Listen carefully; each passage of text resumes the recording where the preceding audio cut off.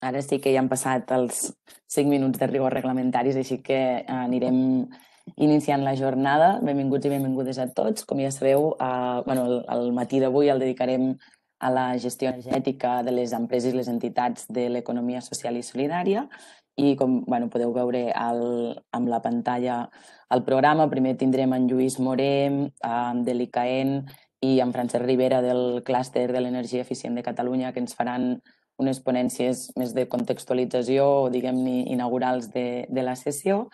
Després tindrem una taula d'experiències amb cinc empreses, entitats diferents, eh, moderada per Gerardo Salvador, eh, soci fundador de, de Seinon Solutions. I, eh, per últim, tindrem el meu company, eh, Adrià Serarols, d'Ecoserveis, que us explicarà eh, la plataforma online que estem desenvolupant amb el marc de, del projecte europeu EMSFORSME de gestió energètica.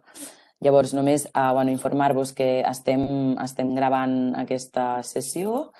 Uh, us demanem a tots i totes que tingueu, si plau, els micròfons silenciats durant, durant tot el desenvolupament de la sessió i uh, quan sigui uh, el moment dels torns oberts de paraula, doncs podeu demanar paraula pel xat i llavors ja us indicarem quan, quan podeu activar els micròfons i fer les vostres intervencions. Així que res més. Espero que les gaudiu molt i li dono pas ja a en Lluís mm, quan vulguis. Moltes gràcies i molt bon dia a tothom. Un plaer poder compartir aquest matí amb vosaltres. Poso per compartir la pantalla i d'aquesta manera confirmar que podeu veure la presentació. Val. Sí. Perfecte. L'esteu veient bé? Molt bé. Doncs un plaer, com deia, poder estar en aquesta sessió, sempre molt, molt interessant i sempre s'aprèn per totes bandes, vull dir que encantat de, de poder fer aquesta primera sessió. Parlar de gestió energètica. A dia d'avui, la gestió energètica crec que ja és una capa transversal que ve immersa amb la gran majoria de coses que fem quan parlem d'energia. Vull dir, és una capa que ha anat agafant molt de pes, molt de rellevància, i així com abans se'n parlava molt, ara potser està una mica camuflada amb, amb, per culpa del màrqueting i, i per altres tècniques comunicatives. Potser a vegades parlem de flexibilitat, a vegades utilitzem aquella paraula que serveix per tot, que és smart, i en el fons tot això per mi ve a una cosa elemental, que és a, a, si realment volem arribar a gestionar una cosa, el que ens cal és informació. I si volem informació, el que ens cal és gestionar. Posaria l'exemple de quan fem un projecte d'envergadura, moltes vegades el que ens cal és la figura del project manager, algú que tingui informació de, de moltes parts d'aquest projecte per poder prendre les millors decisions en cada moment. Per mi aquesta és la, la, la funció clau de la gestió energètica, que és del de, camp de l'energia que toca moltes potes, que és molt transversal i que cada cop té més importància, com veurem a continuació, el que ens cal doncs, és eh, poder captar de manera útil tots els indicadors necessaris de l'energia per després poder prendre decisions i avançar en la direcció que, que voldríem. Per tant, dit aquesta petita introducció, eh, ressaltar una mica la importància que cada cop va agafant més l'energia. I com que va agafant tota aquesta importància, cal aquesta capa de gestió, aquesta eh, gestió que ens permet eh, avançar en la direcció que volem. Es parla molt ara de transició energètica i una mica ressaltar aquestes dades de que el sector energètic és, un dels, és el més gran consumidor de, la, de les emissions globals, amb la qual cosa, si estem lluitant contra el canvi climàtic i volem realment obtenir eh, resultats, el que ens cal és poder tenir aquesta informació verificada i, i bona per poder saber on s'està consumint aquesta energia i com actuar. Per tant, dades molt globals per començar i a poc a poc anem aterrant i una miqueta eh, situar-nos dintre d'aquest context en el que ens movem.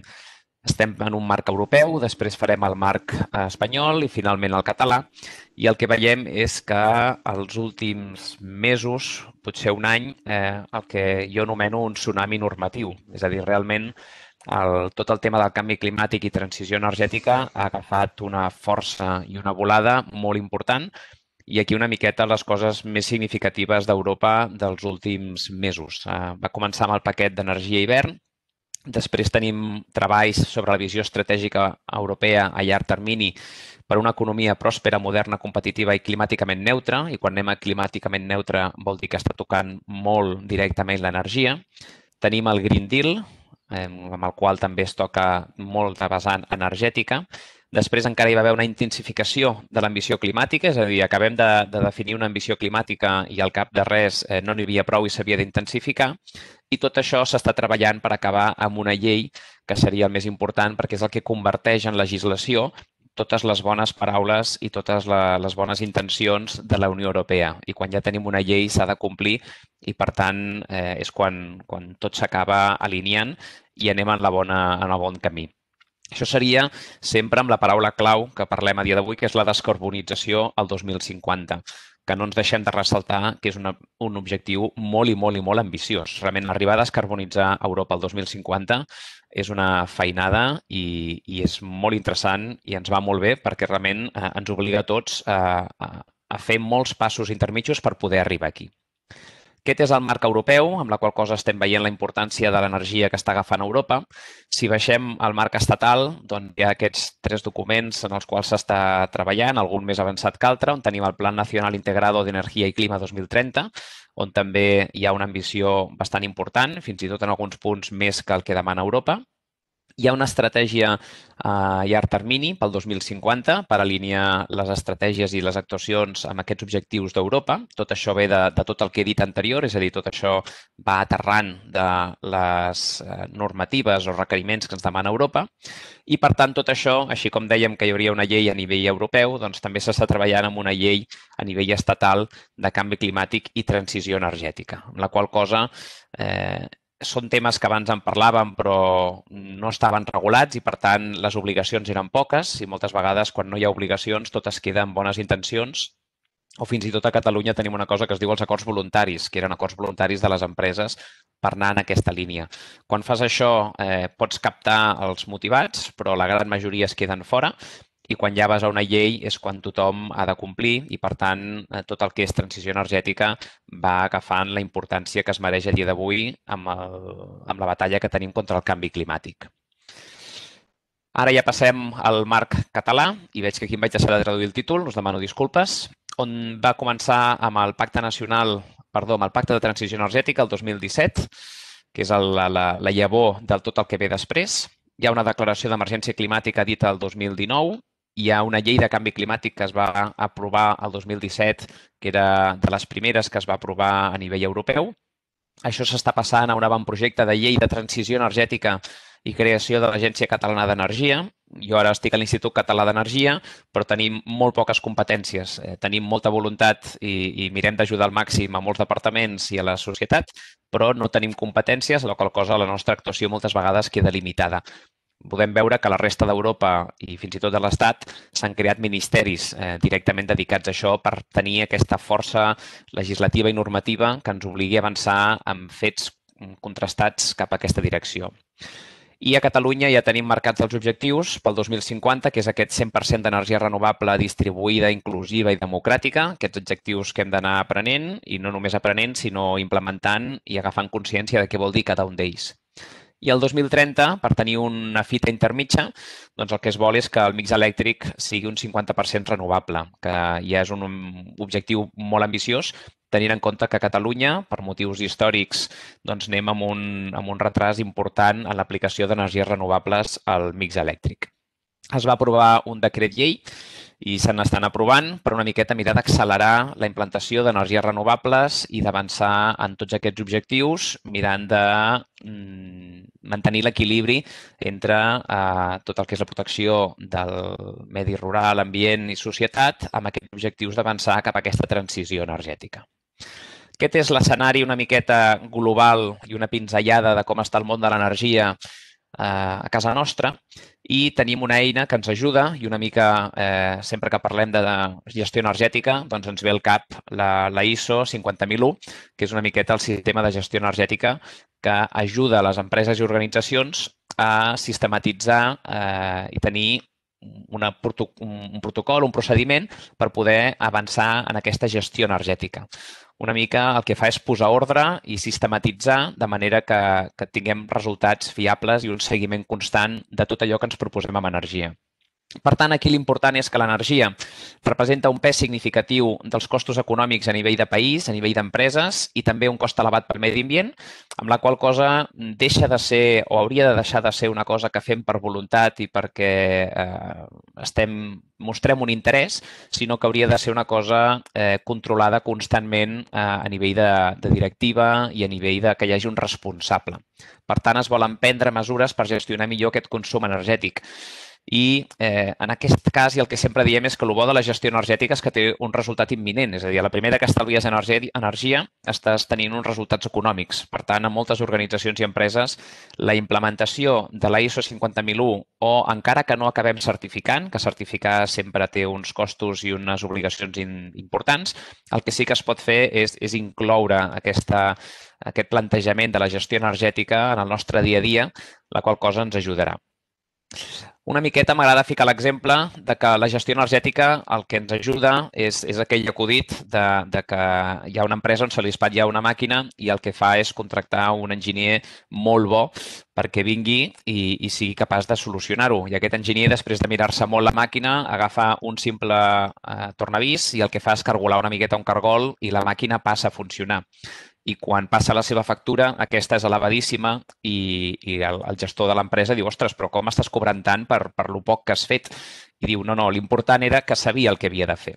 Una miqueta insistir que la gestió energètica el que ens permet és tenir informació de tot el consum energètic que tenim a la nostra organització, en allò on, on ens estem focalitzant, i quan tenim informació és quan podem prendre bones decisions i quan veiem la realitat. Moltes vegades, fins ara, l'energia era una cosa que no es controlava, que no es coneixia, que simplement es pagaven factures a final de mes, amb la qual cosa, amb aquesta poca informació, no es podia fer res. Per tant, ens cal aquesta eh, gestió per tenir informació. Insistint una miqueta amb la ISO, eh, què fa aquesta eh, normativa? El que fa és desenvolupar una política energètica, per tant, la situa al, cap de, al capdamunt. Estableix uns objectius i han de ser assolibles com passa amb qualsevol ISO, és a dir, qualsevol objectiu més aviat. S'han de dissenyar plans per aconseguir aquest estalvi energètic, que no vol dir que s'hagi d'estalviar tot de cop, sinó que hi ha d'haver un full de ruta. I amb aquest full de ruta es van implementant noves tecnologies, es va reduint el mal malbaratament energètic, que moltes vegades, si no passem a tenir gestió energètica, no el coneixem, no el veiem i, per tant, no sabem on es produeix aquest malbaratament, i millora els processos, amb la qual cosa reduïm els costos energètics i també econòmics.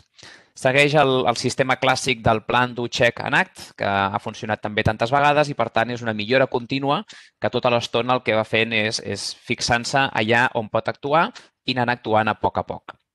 Per tant, millora les fonts energètiques, redueix el cost de les fonts energètiques i reduïm el consum.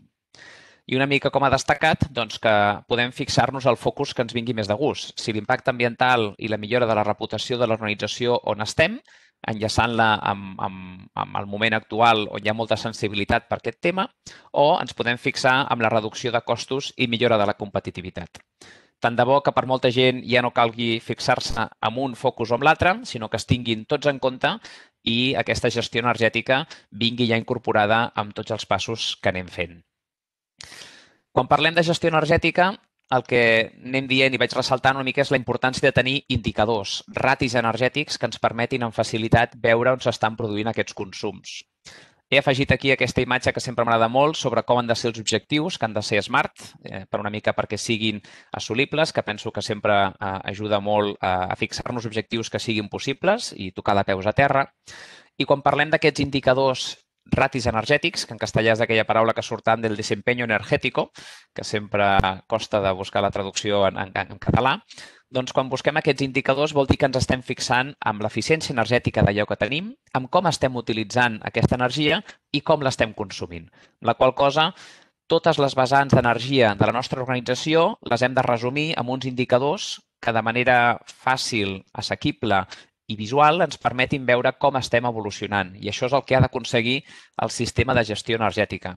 Passar de moltes dades que tenim del consum energètic i de l'ús d'energia que tenim a les nostres organitzacions a una cosa que puguem entendre, que puguem traslladar, que puguem comunicar i que ens permeti motivar i animar la gent a avançar en aquesta direcció.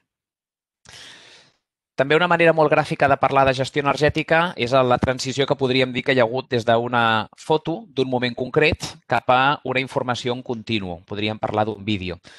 En aquest cas, faríem el símil de que una auditoria energètica, que és el que durant molts anys hem promogut, és una foto d'un moment concret i, per tant, vol dir que s'ha de fer tot el que veieu en aquests quadros, que tenim un quadern pràctic que ho explica tot. Són molts passos per anar recollint informació, ve un auditor, ha de fer molta feina i al final arriba a un document final, que és un, la representació d'un moment concret on es poden acabar recomanant una sèrie de mesures amb una sèrie d'indicadors energètics i econòmics.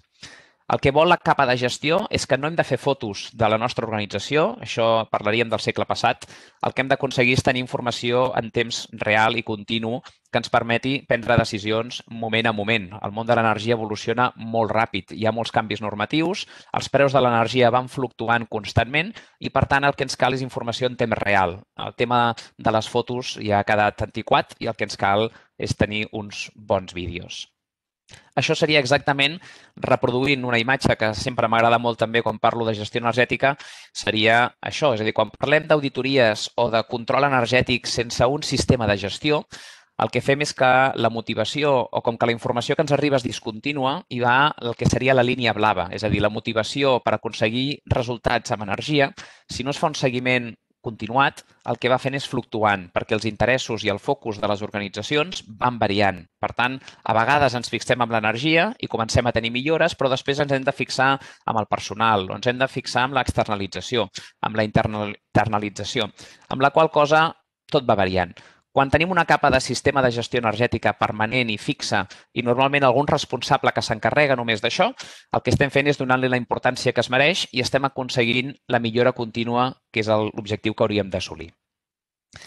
Només informar-vos que per fer una mica de seguiment d'aquesta ISO 50001, doncs la mateixa organisme ISO fa unes eh, estadístiques amb la qual cosa es pot veure l'evolució de quins sectors són els que estan aplicant més aquesta certificació i quins països són els que tenen més certificats. I una miqueta el que podem veure per les dades i sense voler posar etiquetes és que els països més, més organitzats o més industrialitzats i moltes vegades són els que destaquen per tenir més certificats perquè li donen aquesta importància de tenir aquest control i aquesta informació que els permet ser més competitius de cara al futur. Amb la qual cosa és important, des del nostre punt de vista, que aquesta ISO 50001 o sense ISO, que els sistemes de gestió energètica s'implantin de manera massiva a moltes organitzacions, no només industrials, sinó que serveix per tothom.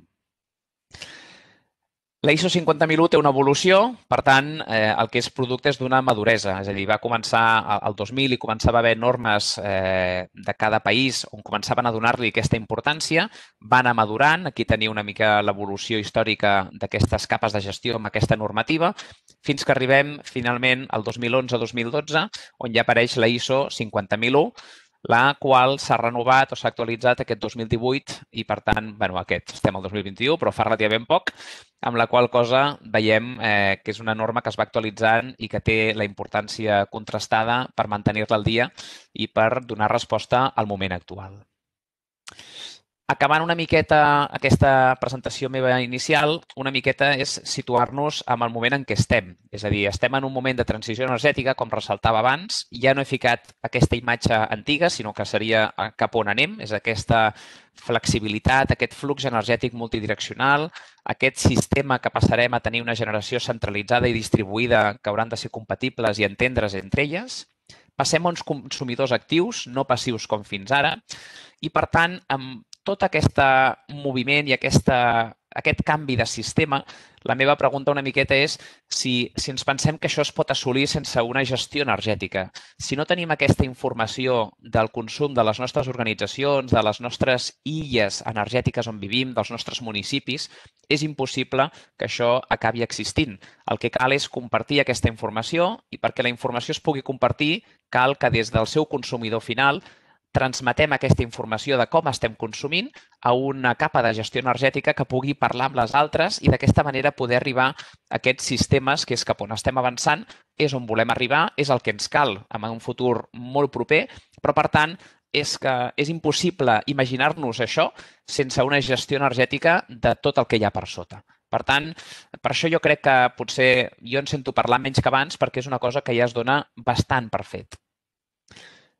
I insistir una miqueta amb el mateix tema amb aquesta última eh, diapositiva, on veiem que una sèrie de normativa que he escollit de les que tinc més presents recentment, tenim la directiva d'edificis, la 844 de la Unió Europea, que és l'actualització de la del 2010 i 2012.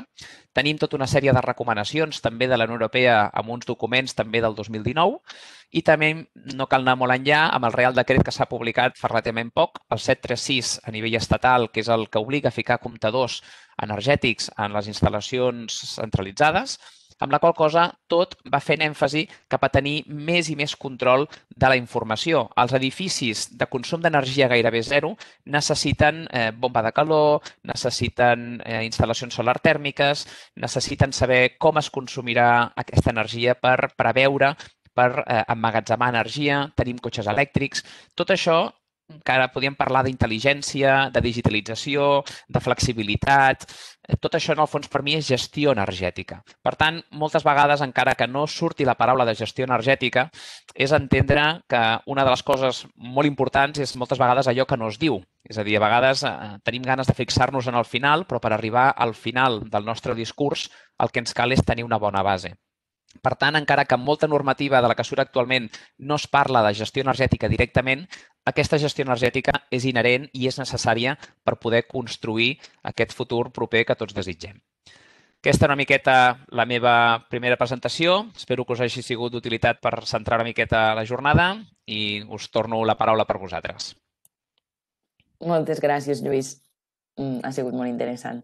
Um, li donem la paraula a en Francesc Rivera del clúster, que seguirà doncs, una mica amb la ponència d'en de, Lluís.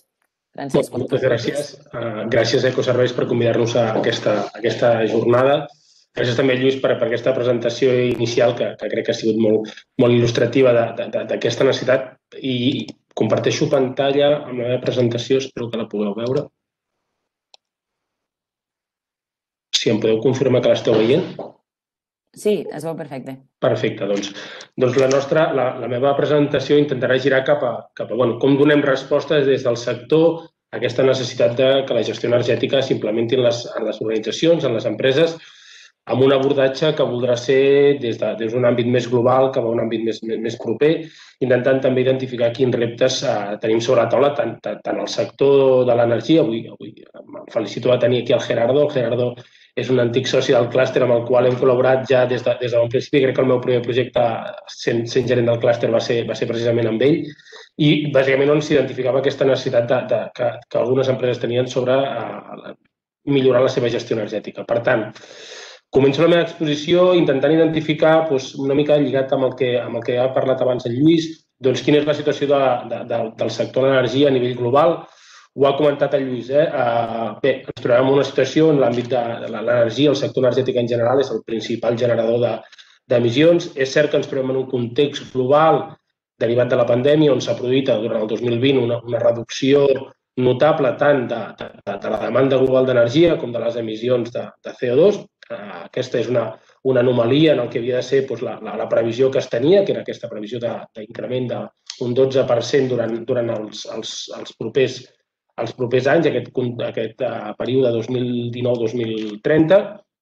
I una, altra, I una altra evidència era, doncs, com s'ha comentat abans també, doncs, l'electrificació que es produirà en el, en el sector de l'energia i com la irrupció de les renovables tindran doncs, un paper molt principal en, en, en aquest procés de transició energètica que abans comentava, comentava en, en Lluís.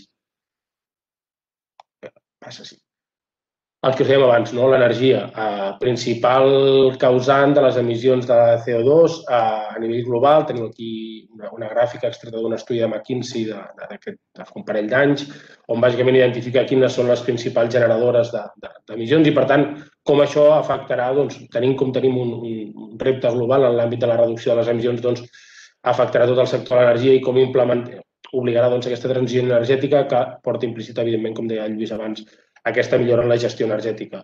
Els principals en, eh, eh, causants d'aquesta generació en l'àmbit de, de l'electricitat, el transport, també la fabricació i la construcció, i en quant a usos veieu aquí doncs, algunes dades sobre quins són els principals eh, causants d'aquestes emissions.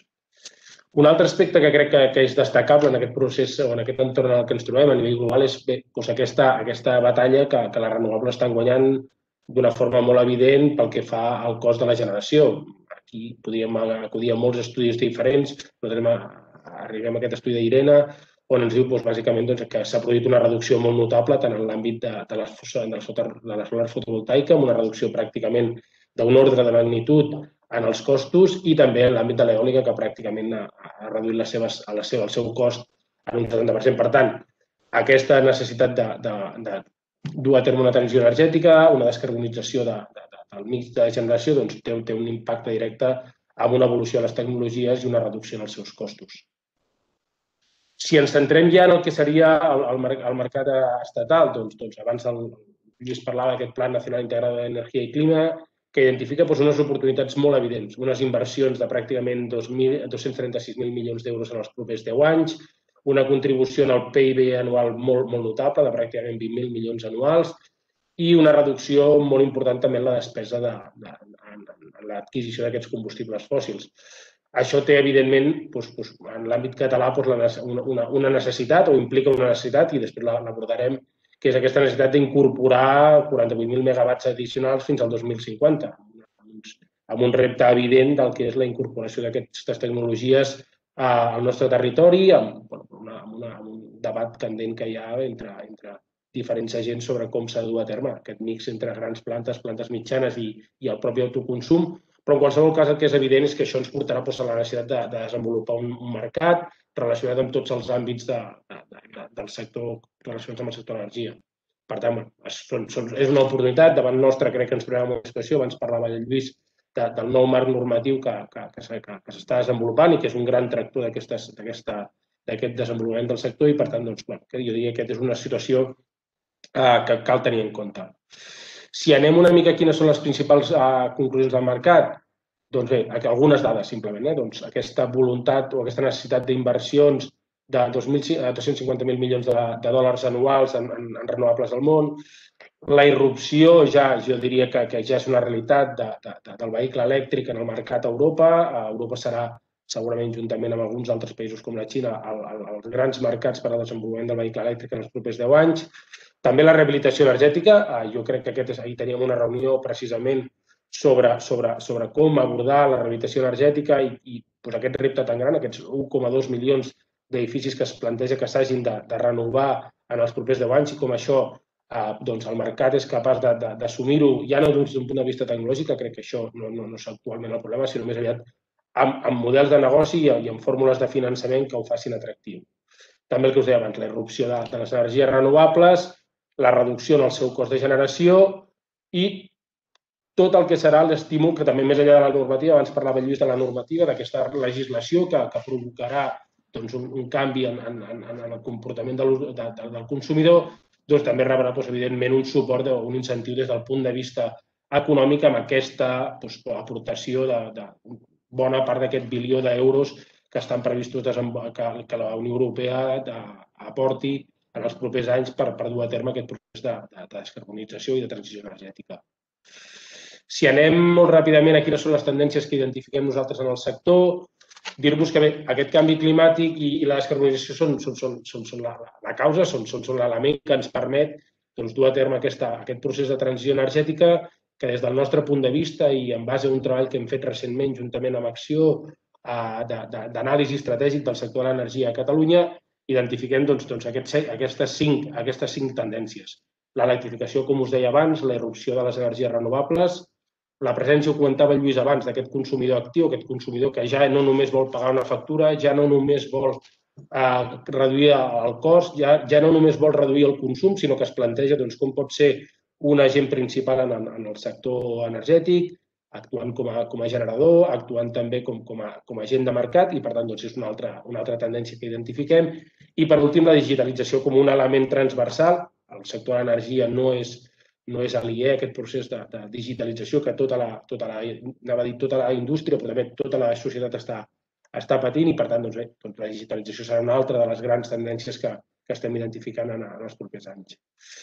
Aquí m'hi deturaré molt poc, teniu la, tindreu la presentació a la vostra disposició identifiquem canvis en la indústria en tots els vectors. Després veurem que el clúster treballa amb sis àrees estratègiques que van des de les energies renovables i la mobilitat fins a temes lligats a l'eficiència energètica a la indústria, l'edificació, la digitalització, les xarxes. Doncs, Aquí hem intentat plasmar quines creiem que són els principals canvis que es produiran en la indústria, però molts d'ells venen doncs, per, per uns canvis en, en, en els clients. Abans ho comentava el, el Lluís també. Hi ha una sèrie de, de tendències que es produeixen en l'àmbit de, de, de, de, de, de la visió que tenen els, els clients. Ja no només anem a buscar el que us deia abans, estalvis, sinó també noves, noves fórmules de, de, de consum, noves fórmules de generació, i això porta implícit nous models de negoci que, que, que s'estan desenvolupant. També s'estan produint canvis socials i demogràfics, aquesta concentració de, les població, de la població en ciutats, el creixement del poder adquisitiu mitjà, malgrat la crisi que ens està, que ens està afectant de forma molt clara, una gran conscienciació en l'àmbit de la sostenibilitat, sobretot en els, en els darrers temps. Jo tinc la sort de, de tenir un equip eh, de, de persones actualment al clúster molt jove que bàsicament quan, quan, els, quan s'han anat incorporant al clúster un dels elements que ens han traslladat és que, que tenen una gran conscienciació social, que entenen que el clúster pot ser una, una palanca per al desenvolupament d'iniciatives que tinguin un impacte sobre, des del punt de vista ambiental i social, i això els ha portat doncs, a, a fer una aposta per la nostra organització i això doncs, al final per nosaltres també és un repte. I com us deia abans, hi ha un àmbit més vertical aquestes, aquest increment de, de, de, de la presència de les energies renovables i de la mobilitat elèctrica. I per últim, com comentava Lluís abans, eh, aquests objectius de descarbonització que es traslladen a, a doncs, normativa específica que va, va, va emanant des, de, des del corpus eh, normatiu europeu cap als diferents països, que els diferents països, malgrat Espanya històricament ha sigut un país de lenta i deficient adopció de, de, de molta d'aquesta normativa europea, acaba arribant a tots nosaltres. El que us deia abans, el consumidor com a, també com a gran element tractor d'aquest procés de canvi, eh, si inicialment ens basàvem en una compra únicament amb criteris de preu i servei, Posteriorment vam incorporar aspectes d'eficiència energètica i aquí crec que la feina de les auditories doncs, va permetre doncs, identificar, malgrat sent al seu moment una foto fixa, doncs, possibilitats d'estalvi, entrar en l'àmbit del finançament i a poc a poc hem entrat sofisticant la nostra, la nostra, la nostra demanda com a, com a clients. Hem entrat en temes com l'origen renovable de les energies, hem, les empreses han entrat ja no només a identificar aquestes necessitats en, en els insight, en les seves pròpies companyies, sinó que les han fet en alguns casos explícites cap a la seva cadena de subministrament, traslladant aquests requeriments als seus proveïdors i posteriorment doncs, entrem ja en aspectes més, més tecnològicament evolucionats com el que és l'autoconsum, que en l'àmbit industrial actualment té, té un gran desplegament. Properament crec que veurem l'evolució cap, a, cap a aquestes comunitats locals d'energia amb, un, amb, un, amb un fort desplegament. Segurament moltes de les persones que parlaran després eh, ens en poden parlar molt més coneixement que no pas jo, i temes com l'emmagatzematge i la virtualització de l'energia. Això ens porta a, a, a un canvi en el, en el sector, a un sector que, quan jo recordo vaig entrar al clúster, tenia una cadena de valor molt, molt clarament identificada, amb un, amb, una, amb, un, amb un flux molt evident, doncs cada vegada més, per aquest procés de servitització, comporta que moltes de les empreses que, que hi ha a l'entorn del sector energia es vegin obligades a repensar el seu negoci, a repensar el seu negoci des d'un punt de vista molt més de prestació de serveis que no pas d'oferta de, de, de, de productes i això porta doncs, una sèrie de moviments que, que com veieu aquí, doncs, bé, ens porten doncs, a que les empreses del sector energètic, eh, perdó, tecnològic entrin en força, que altres empreses d'altres sectors, com el sector del transport, de l'automoció, també vegin la possibilitat d'incorporar-se no només com a fabricants de vehicles elèctrics, sinó també com a operadors energètics. Hem tingut des de fa un temps, per exemple, l'experiència de, de Nissan, que, que s'identificava com un proveïdor global de serveis energètics i d'altres empreses que van incorporant en la seva, en la seva proposta de valor doncs, aquesta servitització i aquesta oferta de serveis energètics. Tot això també eh, doncs, identifiquem aquesta, aquesta necessitat de, de, de que tot això tingui un suport molt evident en l'àmbit de la digitalització, en l'àmbit de, de, de, de la digitalització, tant en qualsevol dels àmbits. Eh? Hem parlat abans de, de, de, de la monitorització, el control, és evident que aquí la digitalització, i crec que després entenc que, que el Gerard doncs, en parlarà més, amb més de, de deteniment, però també en la generació, en l'àmbit d'aquesta voluntat de descentralitzar i distribuir la generació, tot això necessita d'aportar intel·ligència al sistema i, per tant, doncs, la digitalització esdevé un element principal, al igual que per donar resposta a les necessitats de, dels consumidors i aquesta flexibilitat que abans comentava abans també el, el, el, el Lluís que, que es produirà en el sistema. Si tot això ho traslladem al que és pròpiament el sector, intentem veure quins són els reptes que, que el sector té i per no extendre'm especialment, doncs, diríem que des del clúster i en aquest treball identifiquem aquestes vuit àrees o aquests vuit reptes en l'àmbit de, de la mobilitat, també en l'àmbit dels edificis, també en, en el que seria la, la, la, la, la identificació o el desenvolupament d'una cadena industrial que doni suport a la generació renovable i aquesta necessitat de, de, de donar eh, llum o de donar un impuls a aquesta transició energètica, perdoneu, el, aquest consumidor eh, actiu i l'autoconsum com un element principal perquè aquest, aquest consumidor esdevingui un consumidor actiu, la generació de nous serveis energètics al consumidor i la irrupció de nous agents que presten aquests serveis i, per últim, també aquests mateixos serveis orientats no només també als sectors industrials, sinó també al sector terciari i a altres usuaris eh, empresarials. Per últim, doncs, aspectes més, més de caire eh, de, tecnològic, de solucions tecnològiques com l'amagatzematge i les xarxes. Aquí tindreu una breu descripció de com identifiquem nosaltres que aquests reptes s'han de produir. No, no, no, no m'hi aturo perquè crec que, que, que seria massa extens. I sí que entro una mica en el que és el sector de l'energia. Com el sector de l'energia es configura a Catalunya per donar resposta a, aquesta, a aquestes necessitats. En aquest diagrama intentem identificar, doncs, doncs, per una banda, els operadors, els operadors energètics en l'àmbit tant de la producció, distribució i comercialització, que tenen una funció cada vegada més, més activa dins del sistema. D'altra banda, tots aquells operadors que estan proveint de serveis i de gestió, i aquí segurament entraríem en temes com abans parlàvem de la gestió energètica, aquells proveïdors que tant des de l'àmbit de la monitorització i control com en l'àmbit de, de l'anàlisi d'aquella persona que anava a veure aquell cargol i s'adonava que aquell cargol era, era el problema de tot plegat, doncs estan donant, proveint d'aquestes solucions i aquí tindríem doncs, consultories, enginyeries i altres entitats. També el mercat, identifiquem doncs, doncs, uh, un mercat que, que diferenciem en aquestes tres, tres uh, diferents, diferents uh, perfils, els particulars, el sector privat i també el sector públic com un element d'atracció d'aquest sector. I per últim, doncs, un, un, un àmbit, doncs, de, al final tot això, i abans ho comentàvem, necessitarà d'unes inversions importants, d'uns proveïdors en l'àmbit de la inversió i cal que el sector no s'oblidi d'aquesta doncs, baula. Per últim, evidentment, doncs, altres entitats de suport que, que estan dins del sector. Això ens porta que actualment dins de, dins de, dins de a Catalunya identifiquem al voltant de més de 600 empreses que estan en aquesta cadena de valor que nosaltres identifiquem del sector de l'energia eficient i que, per tant, estan treballant en l'impuls d'aquest procés de, de transició. Uh, hi, ha un, hi ha un diagrama de, de, de, de fortaleses i debilitats i també d'oportunitats i amenaces que, que, que estan a la vostra disposició. Dir-vos que aquest update es presenta la setmana que ve en un acte públic, per tant, si voleu tenir més coneixement sobre, sobre tot aquest estudi, us, us convido a que hi pugueu assistir a, a un acte obert que organitzem nosaltres i Acció. I, i per tant, bé, per fer front a, a, aquest, a, aquest, a aquests reptes des del clúster, que som una organització que agrupa actualment més de 170 socis que donen resposta doncs, a aquesta multiplicitat d'agents que estan en el sector, doncs, doncs intentem donar-hi resposta a partir de, de, de treballar en els diferents àmbits de, de, de, de, diferents àrees estratègiques.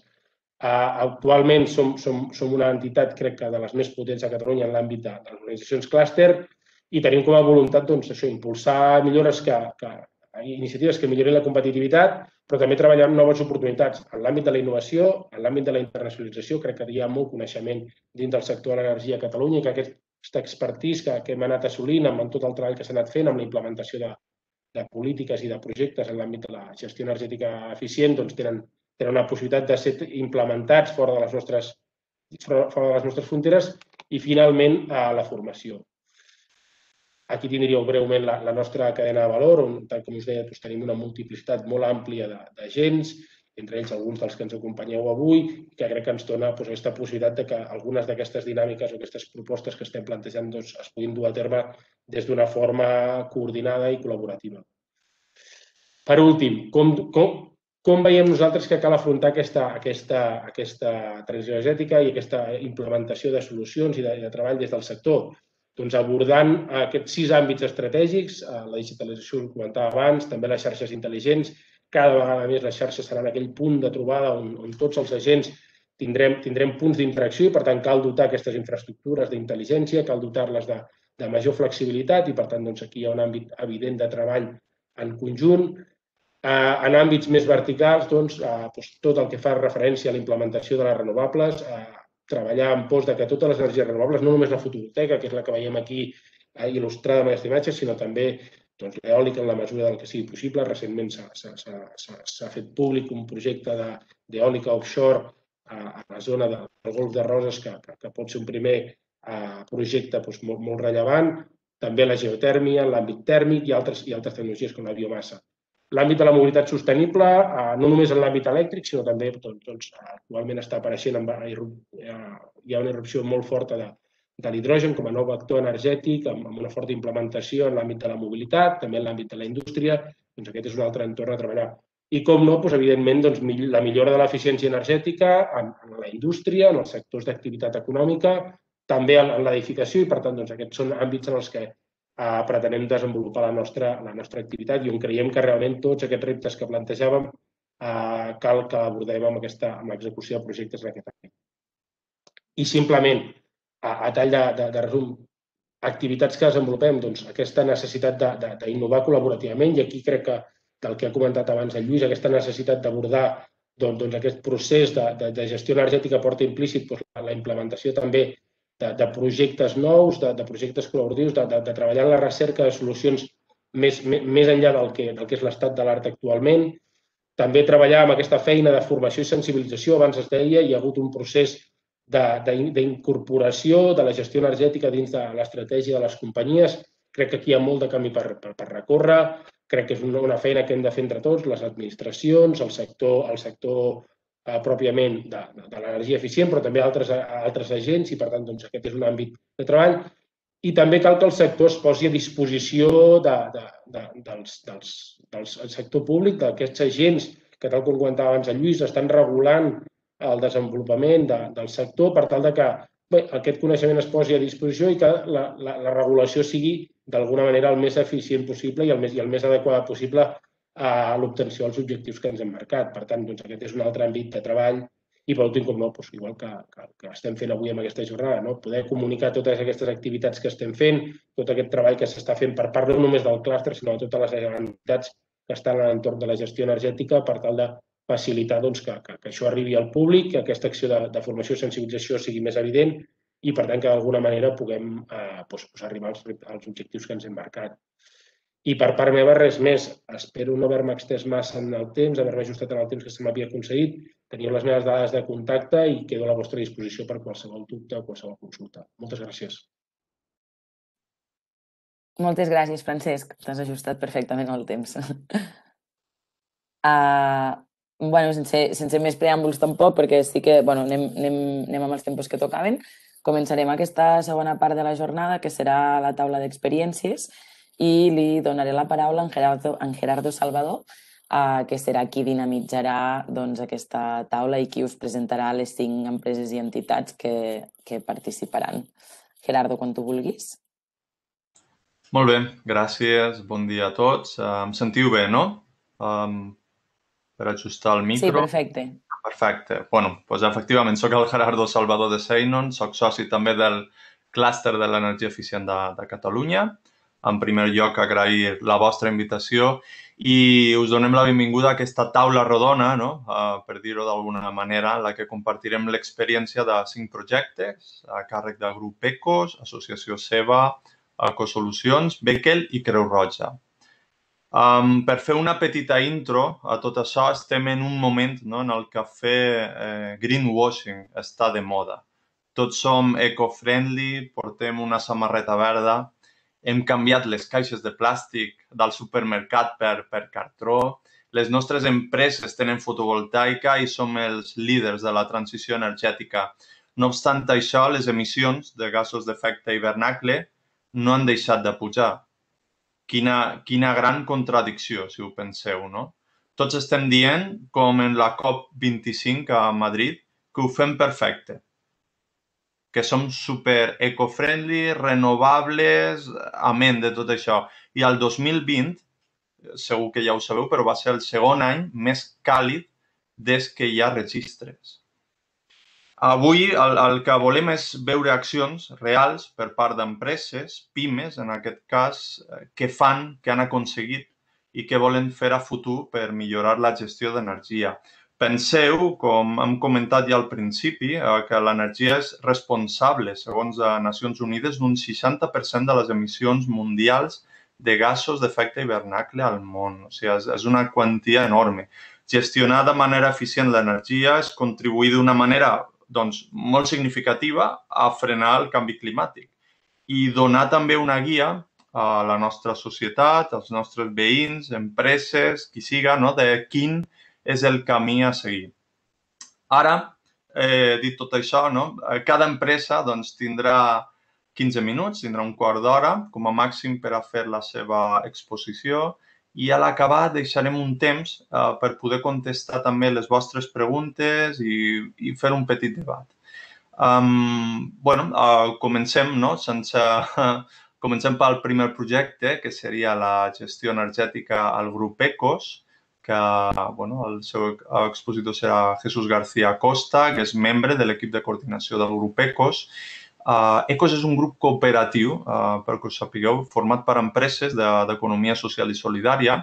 Estan treballant en sectors d'activitat molt diversos i tenen com a objectius enfortir i desenvolupar les organitzacions sòcies, contribuir també al benestar de persones que les integren i promoure doncs, la creació del mercat social. Parlarà avui d'optimització, de, del contracte de subministrament amb renovables que tenen, eh, també de com fem una màxima transparència no? amb els informes de consum que indiquen la potència a contractar, que ja veurem si no sabeu que és un tema molt, molt important. Comentarà també mesures implementades en il·luminació, calefacció, tancaments, aïllaments, inclús servidors informàtics i ens comentarà, crec, també la seva evolució des de cinc anys enrere fins ara, de com han anat aquests indicadors millorant i de què han fet per, eh, doncs, per aconseguir-ho. Doncs, eh, Jesús, benvingut i, i endavant. Moltes gràcies per la, en primer lloc per la vostra invitació. Demanar-vos disculpes perquè ja heu vist eh, doncs, que entrava, sortia una miqueta doncs, la feina aquí no para i a vegades jo m'encarrego una miqueta de l'espai del local i, bueno, i sempre surten necessitats i sempre hem d'atendre a última hora. Espero que ara durant aquests 15 minuts no tinguem cap tipus d'incidència que, que, que em permeti fer la presentació. En primer lloc, comparteixo una miqueta el, bueno, el que he preparat la presentació. Espero que es pugui veure. No sé si s'està veient. No, encara no. Um, potser que tarda una mica, però...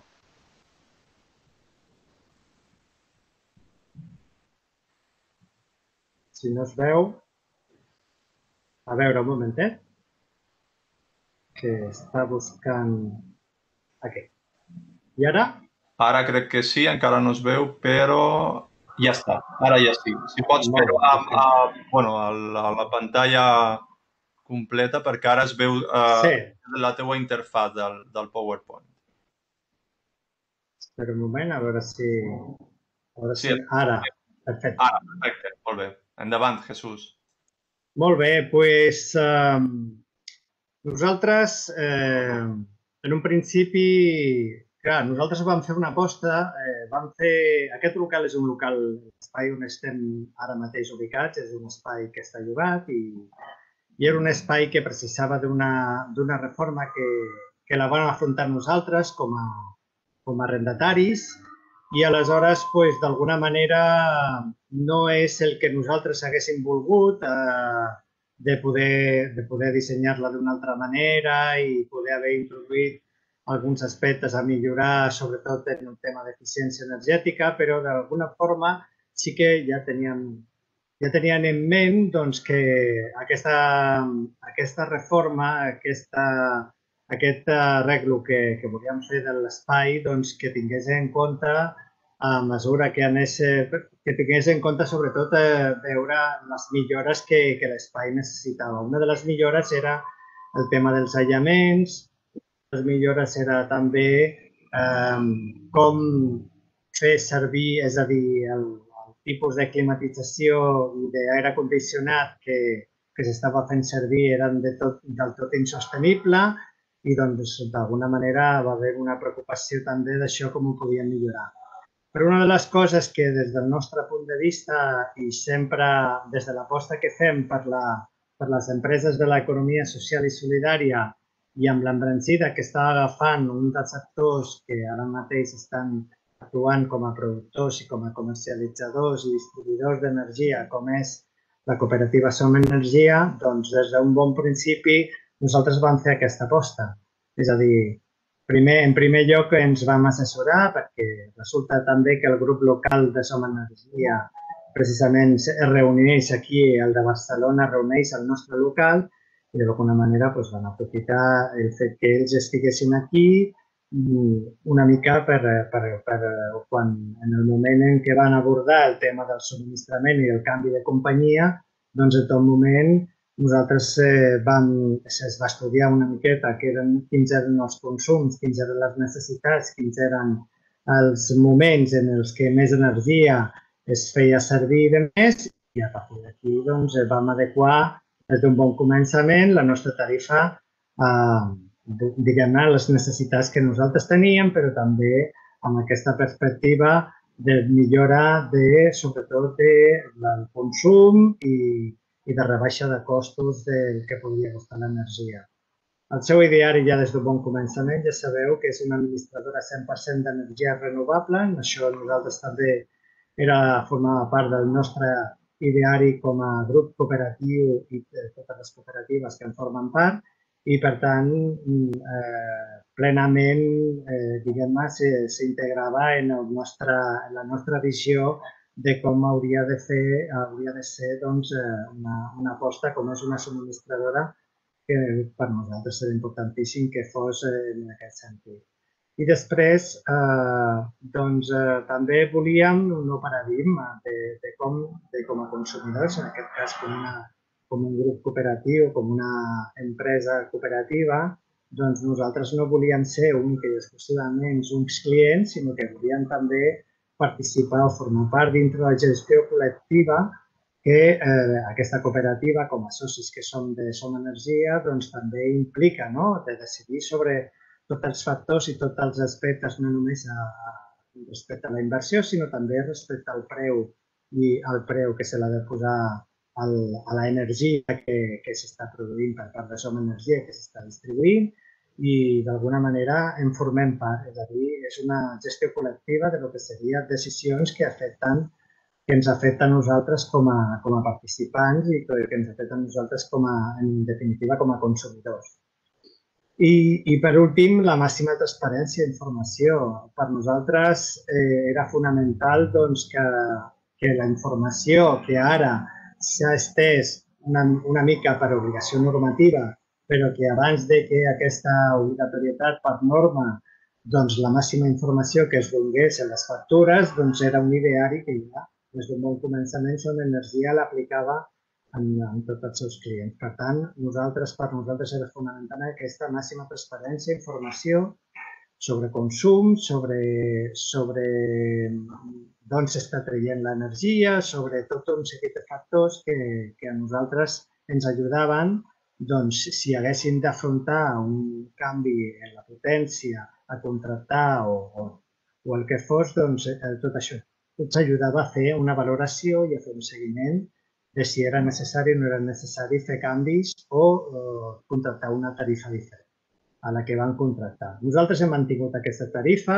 lògicament discriminació horària, i sí que el que veiem com una de les, una de les uh, circumstàncies és que el, el consum fonamentalment l'estem fent en el període pla. Aquests períodes que s'estan analitzant, que és el període de punta, el període pla i el període de mínim consum, per dir-ho d'alguna forma, doncs concentrem gran part del consum en el període.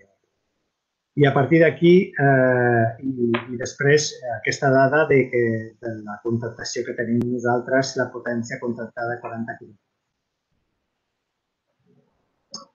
Eh, però, clar, eh, eh, és un espai, doncs, eh, nosaltres estem al carrer Cas, Cas 43, i no deixa de ser un edifici antic. I, per tant, malgrat que van fer una reforma, aquesta reforma també era limitada, limitada per un pressupost, limitada per un, tot un seguit de factors que, que van, ens van donar que van prioritzar doncs, altres aspectes estructurals de l'edifici i, i altres coses que es van deixar de banda en el seu moment.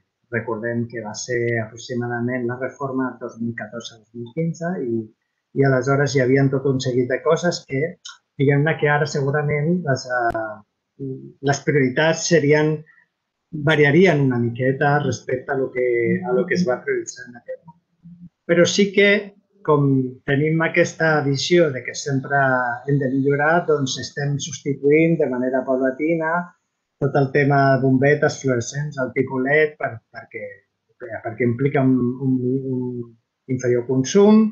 Després sí que van canviar la instal·lació de recondicionat i calefacció mm, per una instal·lació en programació horària. D'alguna manera tenim prest treure eh, quan doncs, d'alguna forma doncs, els períodes en què ha de funcionar i quan ha d'estar parar. I després també eh, sí que hem establert un estàndard de temperatura i potència pensant-se en màxim estalvi. Malgrat tot, sí que tenim després, ho especificaré com a deficiències a, a millorar, doncs que, clar, en un espai vell és difícil a vegades que la instal·lació sigui la més adequada i, i sempre i hem detectat i vam detectar ja des d'un bon començament doncs hi ha algunes deficiències que després entrarem en i per últim, lògicament, aquest era un edifici antic i, i nosaltres el que vam afrontar és una... bueno, doncs vam, vam canviar tota la carpinteria, tots els tancaments, vam aprofundir en el tema d'aïllaments i, i malgrat que hi ha zones a millorar, doncs això també ha suposat per nosaltres un canvi en el sentit d'evitar, doncs, sobretot, les entrades, les entrades de molta calor al, a l'estiu i les entrades de molt de fred al, a l'hivern. Malgrat tot, això ja en, en aquest últim any també ha suposat un canvi per nosaltres. Eh? Vull dir que també hem, hem hagut de, d'obrir més eh, ventanes i, lògicament, finestres i, i portes, en el sentit de que es tractava també de que els espais estiguessin ventilats suficientment. Per tant, hi ha hagut canvis en aquest sentit després de la Covid. Molt recorregut tenim nosaltres, jo crec. que En primer lloc, eh, us ho deia, hi ha determinades zones que encara no estan suficientment aïllades. Tenim pèrdues en instal·lació, sobretot de la calefacció en algunes zones que s'escapa la calor i que, per tant, és de tot ineficient en aquest sentit. I després, lògicament, tenim, estan proliferant a vegades les necessitats de les cooperatives precisant de servidors i els servidors són grans consumidors d'energia. I, clar, les alternatives que se'ns presenten ja les comencem a estudiar com a substituir els servidors per les per les, eh, diguem-ne, les UVLANs que ens, que ens permeten doncs, eh, tot el que fa el servidor que es faci d'una manera virtual. I, és a dir, a través de, de centres eh, que no estan presents en el, en el que seria en el nostre local i que, per tant, no consumeixen energia ni produeixen tant energia perquè són servidors en aquest sentit. Hem, us poso, no sé si m'estic, eh, ara seré més ràpid perquè suposo que m'estic estenent una miqueta. Eh, sí, o... cinc minuts. Sí. Vale, perfecte. Pues aleshores, aquesta és una miqueta l'evolució de, del suc de cinc anys cap enrere. Vale? Nosaltres vam començar a contractar, vam contractar amb Som Energia el 2014 i a partir d'aquí doncs, aquesta és l'evolució. Eh, si veieu, més o menys es, es manté bastant el consum mitjà i, i no hi ha fortes variacions en el consum mitjà tampoc, ni, però sí en el consum total. Aquí hem tingut variacions. Es nota que el 2019 estaven en plena... Clar, l'evolució dintre del que serà el nostre espai és de més o menys cooperatives. Ha, ha hagut una evolució. 2019-2018 ha estat un moment de molta presència de moltes cooperatives al nostre espai, que és que, que funciona com si fos un coworking cooperatiu, amb altres, eh, amb altres objectius amb altres valors, però que no deixa de ser, doncs tenim més o menys projectes que formen part del nostre local. I això també, lògicament, es nota en el consum total. El que sí que hem vist, de, sobretot eh, des de que vam fer la inversió en la, nostra, en la nova màquina de, de, doncs, de producció de calefacció i aire condicionat, doncs sí que vam veure una evolució en el, en el cost de la factura. Sí que hem notat doncs, menys consum, sobretot en la, al, a ple hivern, que és quan eh, més es fa servir la calefacció, i a ple estiu, que és quan més es fa servir l'aire condicionat. Això sí que s'ha notat en el preu de la factura i en el consum també de, en quilowatt hora. Això sí que s'ha notat sobretot en... I per últim, doncs per nosaltres això és un resum del, del nostre ideari, eh, una aposta segura, consum responsable, eh, en aqu eh, això per nosaltres és fonamental. la sostenibilitat, el futur passa per l'energia renovable i, i, per tant, hem de, estem també molt atents de, de reduir el que serien les emissions i segur que hem d'aprofundir més, que és una de les coses, un dels objectius que s'han marcat de cada futur, d'incidir més en, en disposar d'un pla d'acció, d'un pla, diguem-ne, més eh, amb, amb, amb objectius més clars, més quantificables, per, perquè ens ajudi també a nosaltres, no des de la militància, sinó des d'una de, forma més eh, eficaç i eficient, com és a través d'un pla doncs, marxa i també executar-ho no només per part nostra, sinó també per totes les cooperatives, totes les usuàries del nostre estat.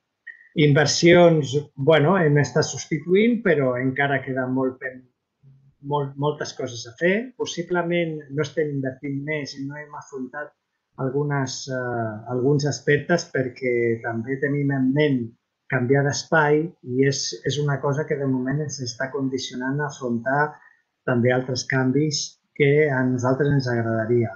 Estem pendents d'això. Si això es materialitza, doncs aleshores en el nou espai sí que tindrem present moltes de les coses que de moment no hem pogut, no hem pogut portar a terme en, en espais com és la generació de la pròpia energia, la, la instal·lació de plaques fotovoltaiques o una cosa semblant. El tema de la participació, nosaltres som, davant, som actius, volem ser actius davant les polítiques i les estratègies i intentem participar en els espais que, en aquest cas, som energia ens permet i de, de participar-hi i, per tant, som actors, eh, som actors actius.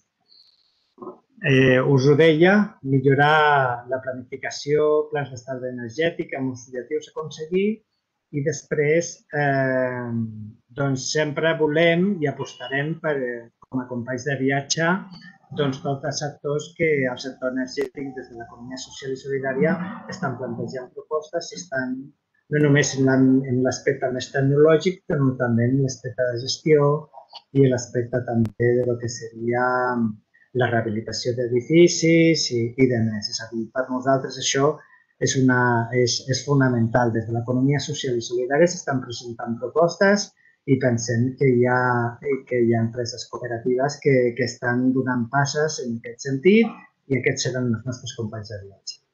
I amb això jo crec que una miqueta era la meva presentació i us vull agrair doncs, moltes gràcies per l'atenció i, i, i si després n'hi ha preguntes o qualsevol cosa estaré encantat de, de respondre. Gràcies. Perfecte, gràcies a tu, Jesús, per la teva intervenció i efectivament, sí, si teniu qualsevol pregunta, doncs la, jo crec que la podríem deixar al xat i contestar-la a l'acabar i, bueno, aneu pensant i anotant-hi. Anem a la segona ponència, que és la de gestió energètica de les empreses i les entitats de l'economia social i solidària, a càrrec del Marc Romeracot, que és el gerent d'associació SEBA. SEBA, um, bueno, per a que no ho conega, és una associació sense ànim de lucre, està dedicada a sistemes fotovoltaics i assessoren i formen a usuaris de programes d'electrificació rural amb energia solar fotovoltaica autònoma. El seu objectiu és acompanyar a nous usuaris d'instal·lacions fotovoltaiques i d'altres sistemes també de, amb energies renovables en la seva sobirania energètica. Fan auditories també com hem comentat al principi, eh, després li preguntarem per això, i participen també en programes de formació i capacitació de col·lectius amb dificultats per accedir al món laboral.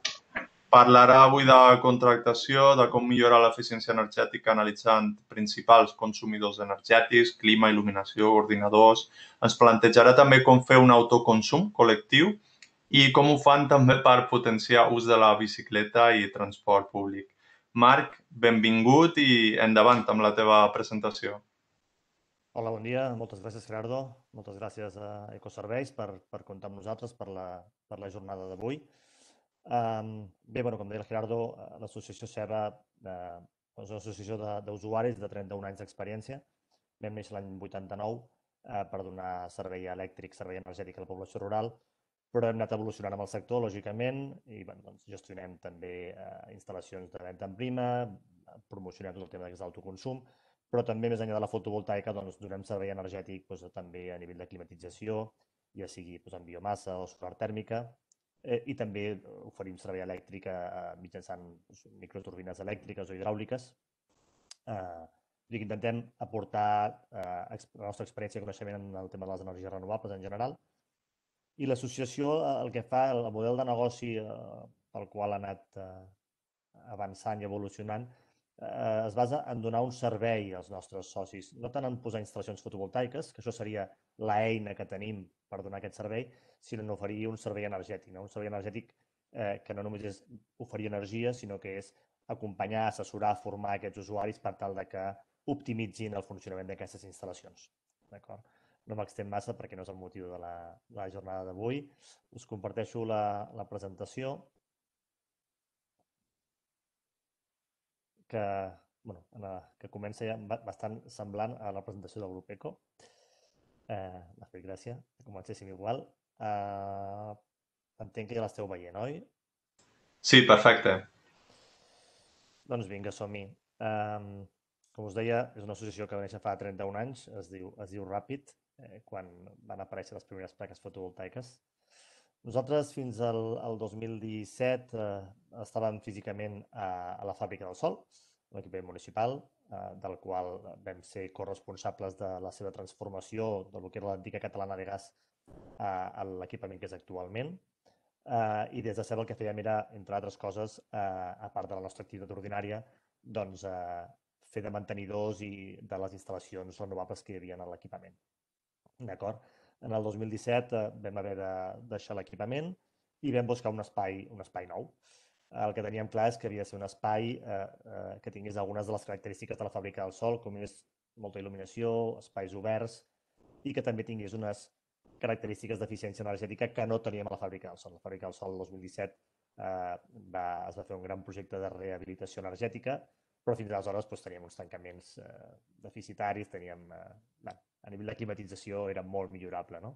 Eh, I per tant, quan vam buscar el nou, el nou equipament, doncs eh, això ho vam tenir en compte. Eh, a través de la xarxa d'entitats en les que formem part, SEPA forma part de l'economia social i solidària, forma part de la XES, eh, forma part d'altres col·lectius en aquesta línia, col·lectius que treballen per la transició energètica.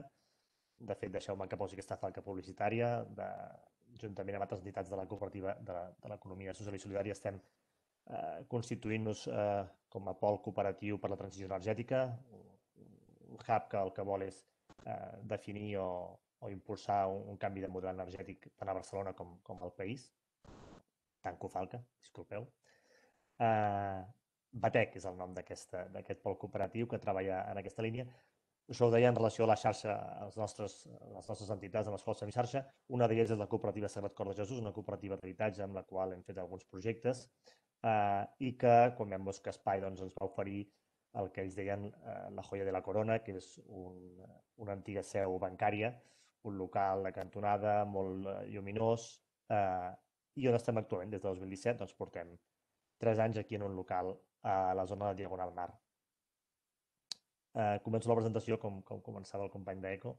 d'Ecos. Eh, per nosaltres la transició energètica no es tracta només de, de consumir menys i ser més eficients, sinó que també es tracta d'un canvi de model eh, social i econòmic. Eh, I, per tant, eh, el que intentem és que els nostres col·laboradors i, i proveïdors també estiguin en aquesta línia. En aquest sentit, eh, el 2017, quan vam eh, passar-nos a, a Diagonal Mar, al nou local, doncs vam contractar els serveis a, a Som Energia perquè entenem que més enllà de promoure les energies renovables com fan moltes altres comercialitzadores, eh, doncs té un model de negoci en la línia del que creiem nosaltres, no? en aquesta línia d'un canvi de model eh, econòmic i social. Eh, no m'allargo perquè crec que ja molts la coneixeu i, per tant, eh, seguim endavant. Pel que fa al contracte de subministrament, bueno, aquí el, el Gerardo deia, i, i, i, i no s'ha equivocat, que nosaltres ens dediquem també a assessorar i fer auditories a, als nostres socis. Però ja sabeu que, bueno, Seba fa bona la dita de en casa l'herrero eh, cuchara de palo. Eh, hem he d'agrair a Ecoserveis que ens hagi convidat aquesta jornada novament perquè ens ha permès començar a fer números i començar a oblidar una mica la nostra oficina. No? I ara ens centrarem els consums de, de la nostra oficina, eh, que com veureu i com exposaré al final, doncs, hi ha unes quantes coses a millorar. No? Eh, la potència contractada en el seu moment, el 2017, anava una mica condicionada a la climatització, hi ha un, a la seu bancària hi havia un equip de climatització molt potent per assegurar les renovacions d'aire que creien i per tant doncs, eh, bueno, vam haver de posar una, contractar una potència important tenint en compte que només som sis treballadors. Um, vam optar per aquesta tarifa de 2.1 discriminació horària, que és la que en aquell moment vam considerar oportuna. El que veiem és que tenim un consum, eh, bueno, un consum elevat des del nostre punt de vista, de, de, 60, de, de 16,35 kWh dia de mitjana, d'acord? Eh, I la potència de maxímetre eh, ens quedem a 8 kW. Eh? Aquí, bueno, ja, ja ho dic ara, eh, el que ens està facturant eh, Som Energia ens factura per, per ICP i no per, eh, potents, i no per maxímetre, i per tant és una cosa clarament de canviar ràpidament, d'acord? Perquè el que hem vist que l'últim any doncs, hem superat aquesta potència de 8 kW. No? I el més preocupant és aquest eh, consum standby que hi poso aquí, és aquest consum base de 400 watts hora hora, el que serien gairebé 10 quilowatts hora dia d'un consum base que, del qual no baixem, no? i que per tant doncs, eh, és un tema a treballar. No?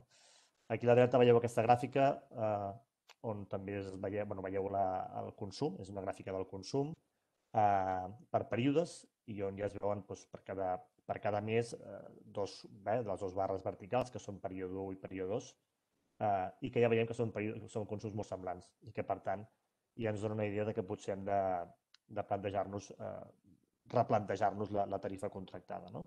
És un tema que hem d'analitzar amb més temps perquè amb el temps que he tingut de preparar la presentació no, no he tingut temps d'analitzar-ho en profunditat. Aquí veiem dues gràfiques, gràfica típica de consum, vale? és, és una gràfica de, aquesta és la gràfica de consum eh, diari, on veiem uns consums elevats en dies laborables i uns consums baixos en dies eh, festius.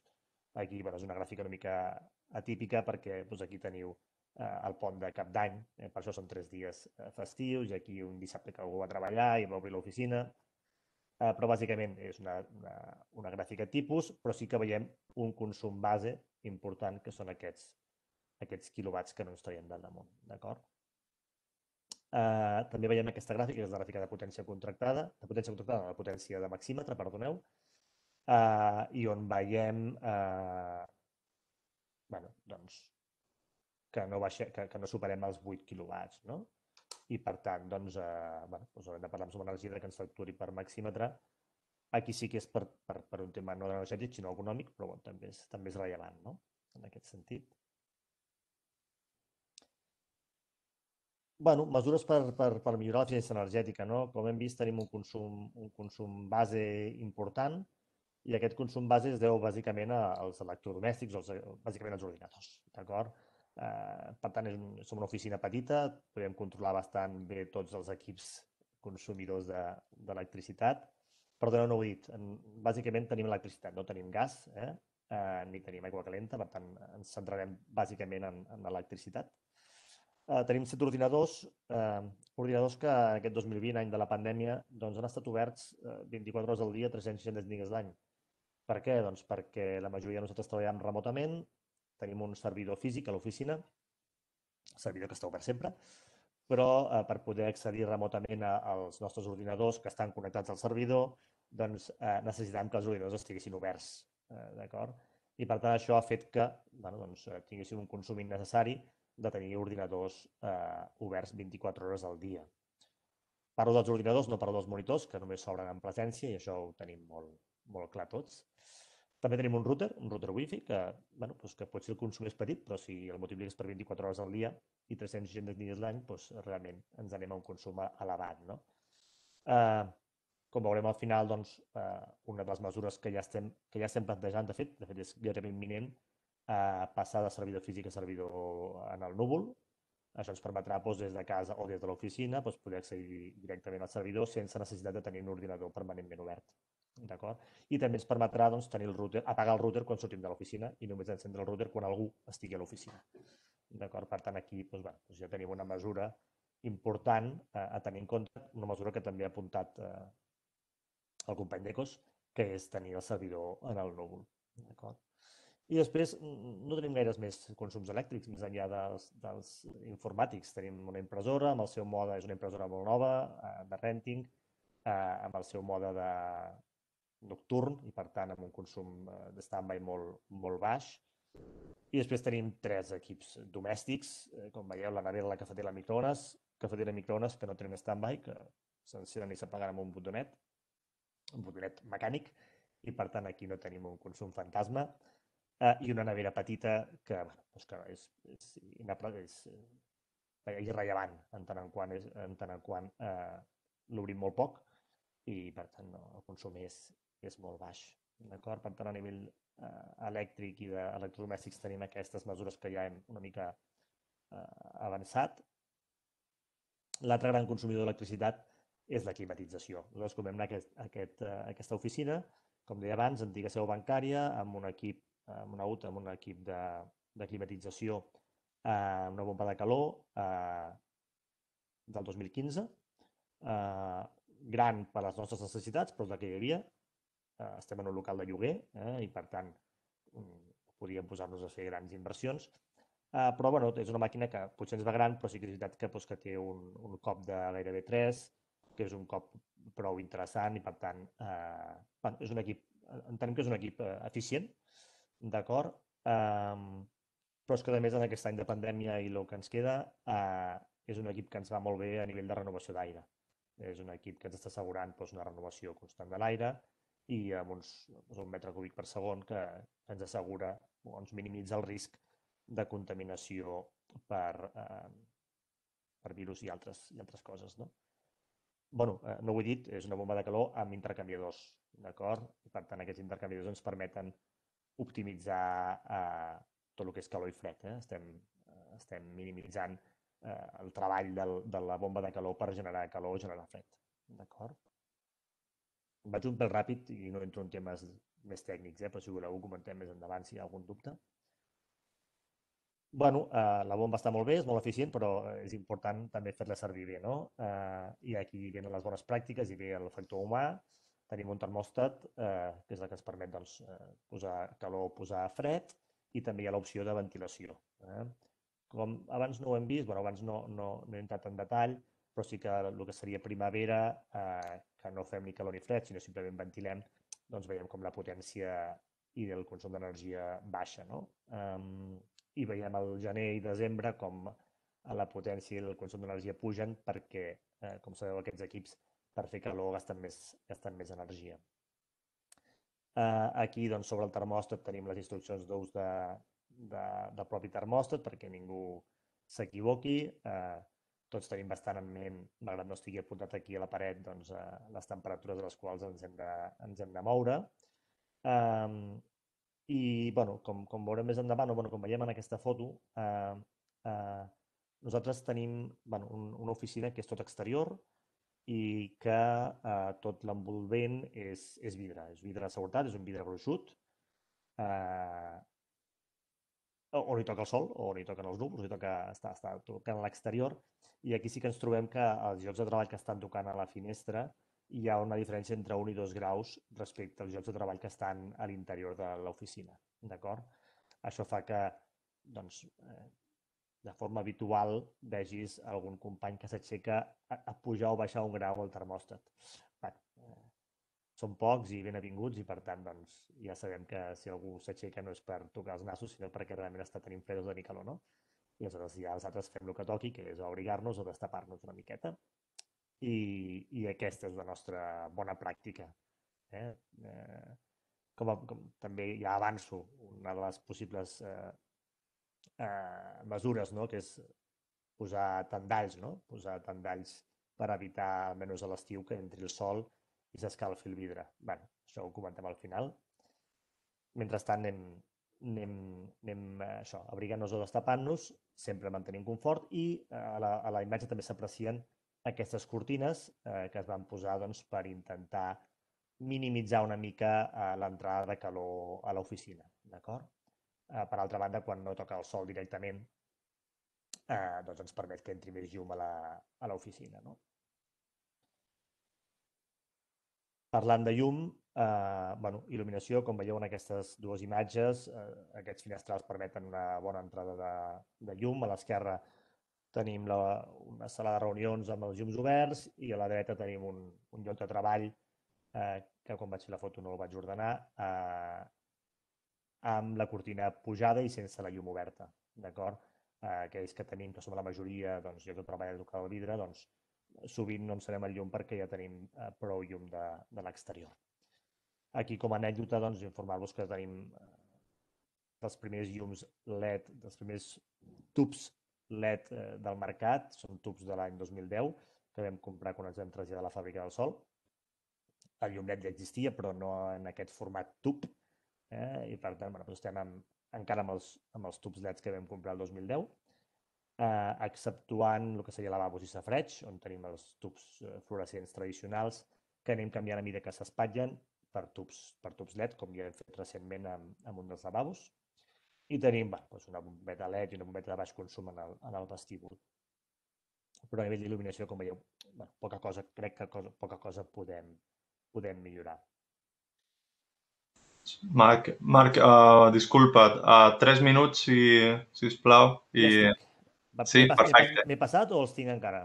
Uh, bueno, estàs ahí, ahí, al mig, per ser diplomàtic. No, tres minuts, si pots abreviar, i així tenim temps al finalitzar de fer el debat. Bueno, bàsicament, mesures passives. Poques eh, en podem fer per les característiques del local, com veieu. Eh, possibilitat de posar tandalls, que ho hem de valorar, però sí que és veritat que l'estat de lloguer doncs, és un tema a plantejable. No? Eh, i el tema de l'autoconsum, doncs la idea és, eh, és, una, és, una, és un projecte que està sobre la taula des de fa més d'un any i que, si tot va bé aquest 2021, doncs durem a terme eh, i de forma també col·laborativa amb MLCAT, que és una enginyeria que em sembla que avui estava també a la, a la jornada, que està en eh, dos portals més enllà eh, i, per tant, doncs, en col·laboració amb un projecte cooperatiu amb la cooperativa Sabat Cova Jesús, doncs, si tot va bé, doncs durem a terme per generar la nostra pròpia electricitat.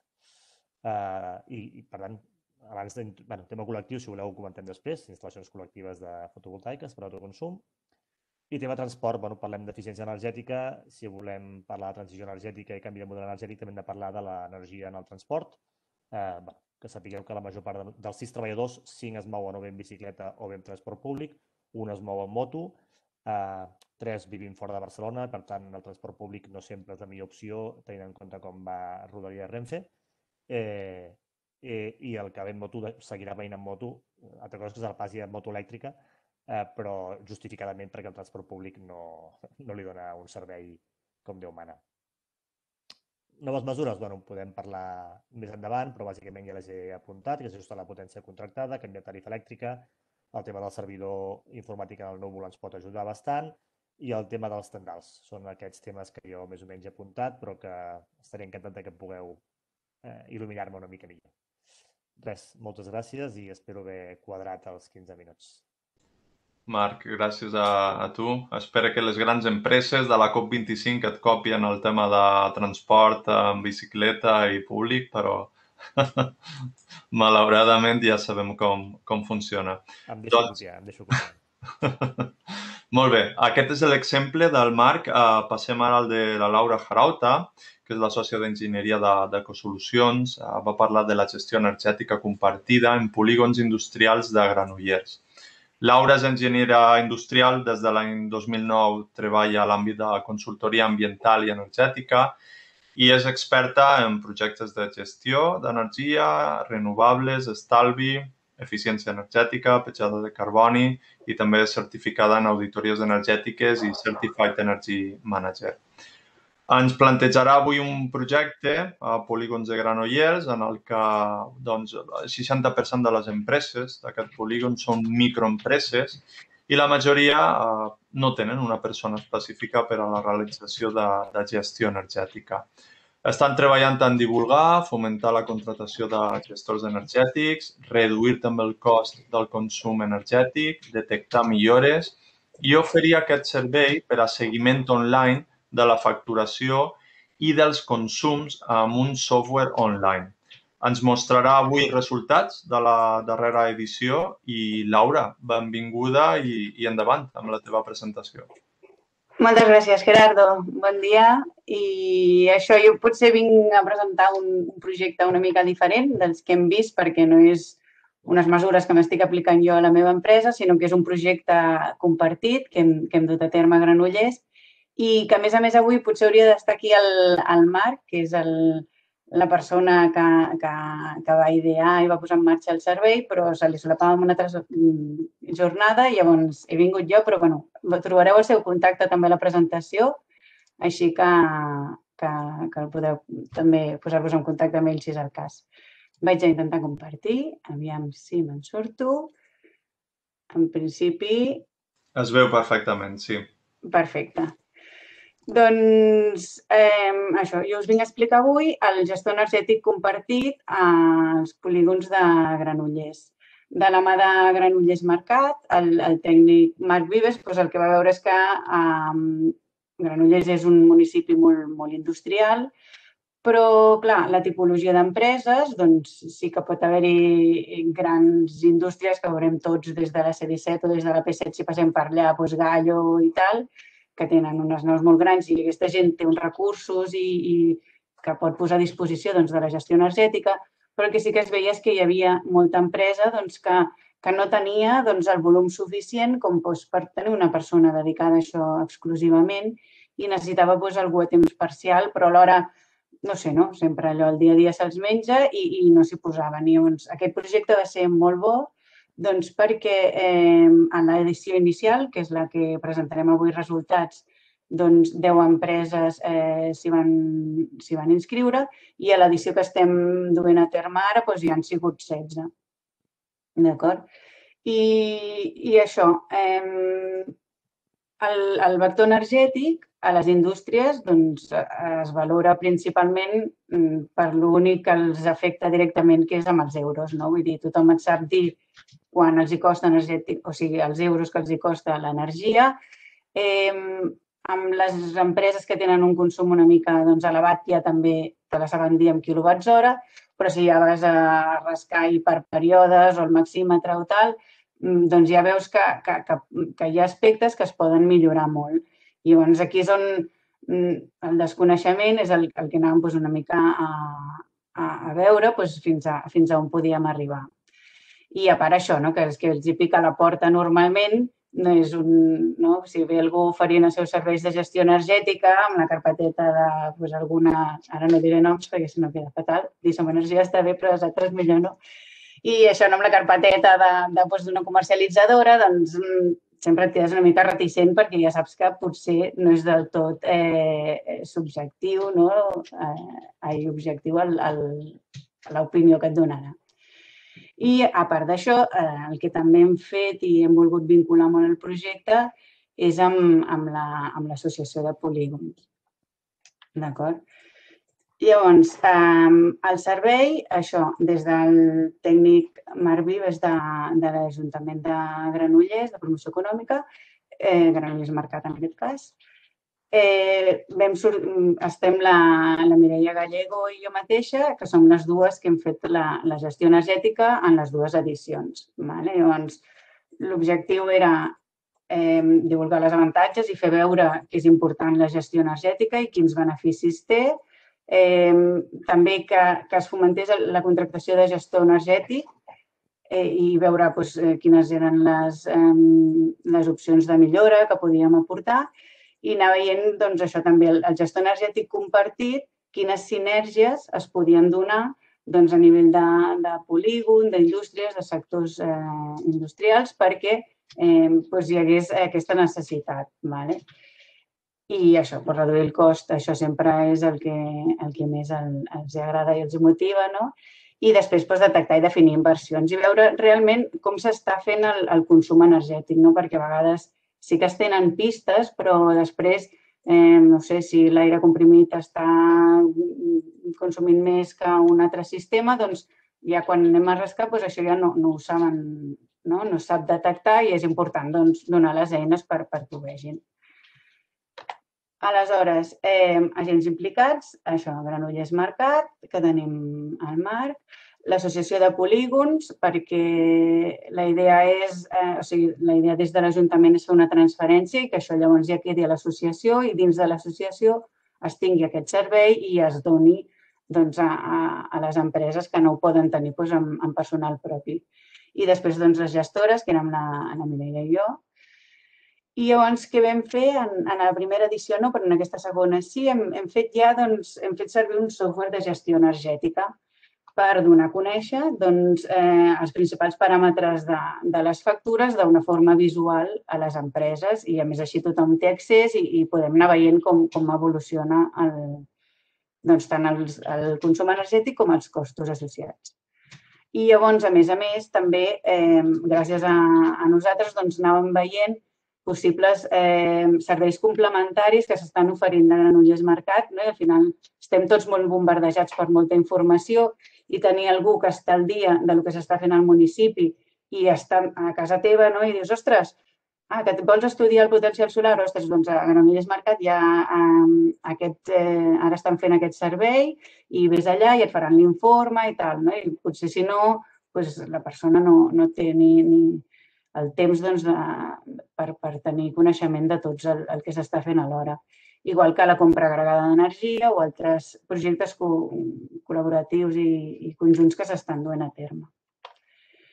Eh, què hem fet? Hem fet dues modalitats de servei. O sigui, tindríem la gran empresa, que és la que no ha entrat, que és Pastas Gallo, bueno, totes aquestes així molt grans que ja tenen els seus sistemes de gestió energètica i el seu personal.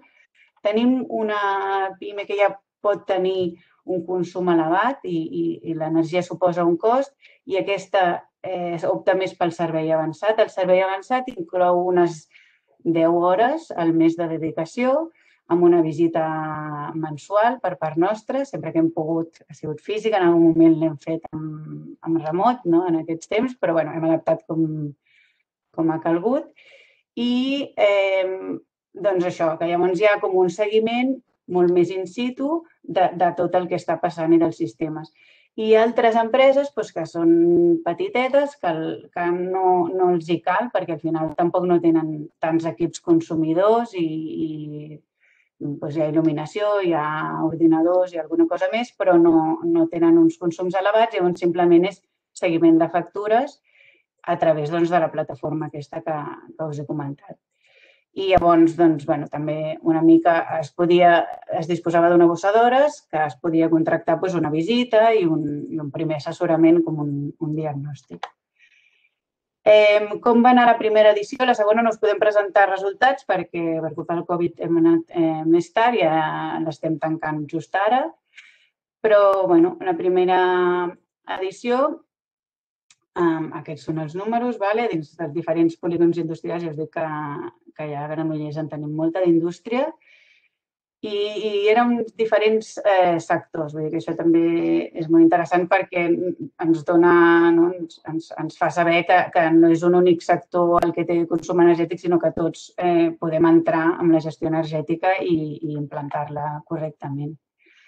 Eh, què va ser interessant? Doncs eh, també dins de les nostres visites eh, vam anar veient com es transformava. No? Vull dir, a vegades eh, ningú no té temps per dedicar-s'hi exclusivament a això, però sí que és interessant formar un equip que entre tots doncs, cada un toca, toca una tecla dins de l'empresa i entre tots fan l'equip de gestió energètica que, que després s'ha quedat quan nosaltres hem marxat. Començàvem parlant sempre amb el gerent, amb comptabilitat, s'afegia el director de planta, s'afegia manteniment i al final han quedat ells allà doncs ja amb els projectes engegat, que ha sigut molt, molt interessant. Eh, ens vam trobar que en molts casos hi havia opcions de millorar el contracte, no? vull dir, una mica com, com ens explicava el Marc de Ceba, no? que es va fent però mai no es mira i el dia que, que algú s'hi para doncs sempre tens millora. Més amb ara el tema aquest no? de, de la part fixa de la factura que, que té tanta, tant d'impacte, doncs és molt important anar fent la revisió anualment, anar, anar veient i anar-ho anar, seguint. Eh, es van fer monitoritzacions de consums també perquè a vegades hi ha equips que tenen pics de consum i no se sap si és doncs, una demanda sostinguda o bé és un pic momentani i allò es pot gestionar amb, amb altres càrregues. Tot això al final és anar culturitzant perquè potser el gas és més visual a través de la calor o del vapor, però l'electricitat és molt poc visual. Per tant, si no ens hi posem i no la monitoritzem, tenim només les corbes de comercialitzadora quan les tenim a, a final, però després volem, doncs, teníem l'opció d'anar doncs, per dins de la casa eh, mirant els diferents equips.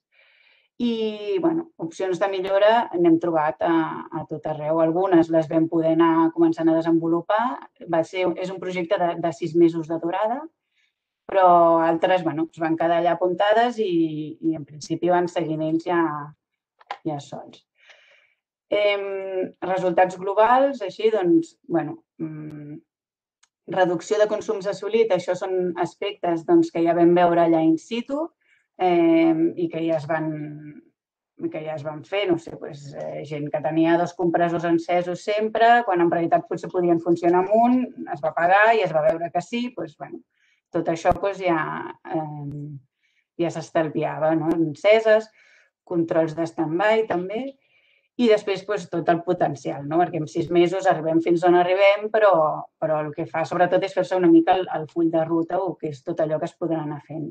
Esperem que no ens passi no? com el, el gràfic aquest de l'auditoria que ens explicava el, el Lluís no? i que ells s'hagin quedat allà reduint sempre i que no sigui quan tornem a anar que es tornen a activar. No? Estalvi assolit, eh, déu nhi 41.000 euros i un potencial doncs, encara més elevat, que quasi duplica. I llavors aquí una mica us he posat el, el detall perquè com que vaig veure que Gerardo entrava molt en, en, en les accions concretes, doncs, bueno, eh, perquè veieu eh, què, què hem trobat, no? Pues millores del contracte elèctric, reducció o optimització de la potència contractada, augment, perquè a vegades també passa, la gent va ampliant, paga eh, pics de potència i, i no sé, com que ningú no s'ho ha mirat, doncs es pensen que és el que toca i, i això, doncs ampliar la potència també és important. Consums de reactiva, també bateries de, de condensadors espatllades i que ningú no se n'acaba de donar i fins que no, no, no s'hi va i, i s'hi posa, doncs no, no es troba. I tema de negociació de contractes, tot i que no entràvem tant, però sí que assessoràvem de dir, bueno, doncs jo et poso en un Excel la teva, el, com és la teva demanda i veiem com es comporta cadascuna de les ofertes que t'han donat i a partir d'aquí tu prens la decisió. Després, eh, temes de sistemes de climatització, sobretot perquè la primera edició, malgrat ser un, un, un projecte dirigit a indústries, va entrar-hi un hotel que està dins del, del polígon industrial, llavors aquí hi havia tot el tema aquest de, de la climatització i del control. Temes d'aire comprimit, doncs temes de fuites, eh, desconnexió del compressor quan no toca, millores d'enllumenat. Aquí són lluernaris, també estudiem el tema LEDs, però en aquest cas doncs perquè si no entrar. Temes d'implantació de, de fotovoltaica per autoconsum, doncs també ja hi havia alguna indústria que en tenia ganes i doncs el fet de tenir una gestora dins de, dins de la casa doncs va ajudar a, que, a, fer, a poder fer el seguiment bé del projecte i anar veient doncs, que, que tot fos dins de mercat, que no s'escapés res, que, que les dades, no, anar contrastant una mica les dades que, que ens donaven per càlculs i anar veient doncs, doncs tot això si era real. I aquesta es va fer i, de fet, ara està funcionant el que hem vist és que realment eh, doncs, eh, s'han previst les, la, les previsions i, i estem, bueno, és molt xulo perquè és un 20% d'autoconsum directe de la indústria i, i realment hi ha molt potencial d'autoconsum a les indústries que és on està la demanda. Eh, bueno, optimització de potència contractada, millora de climatització i ACS. També teníem, és veritat, en aquesta primera edició també hi havia un gimnàs, o sigui que era molt, eh, molt, molta mescla no, el que teníem aquí d'empreses. De, eh, recuperacions de calor, o sigui, després, o sigui, les anteriors, perdoneu, són les accions que vam dur a terme i aquestes són les potencials que els hi vam deixar doncs, valorades amb ofertes de, eh, tècniques ja i, i bastant embastades perquè ells, doncs, quan, quan tinguin el, el capital o puguin, doncs ho, ho, ho duguin a terme.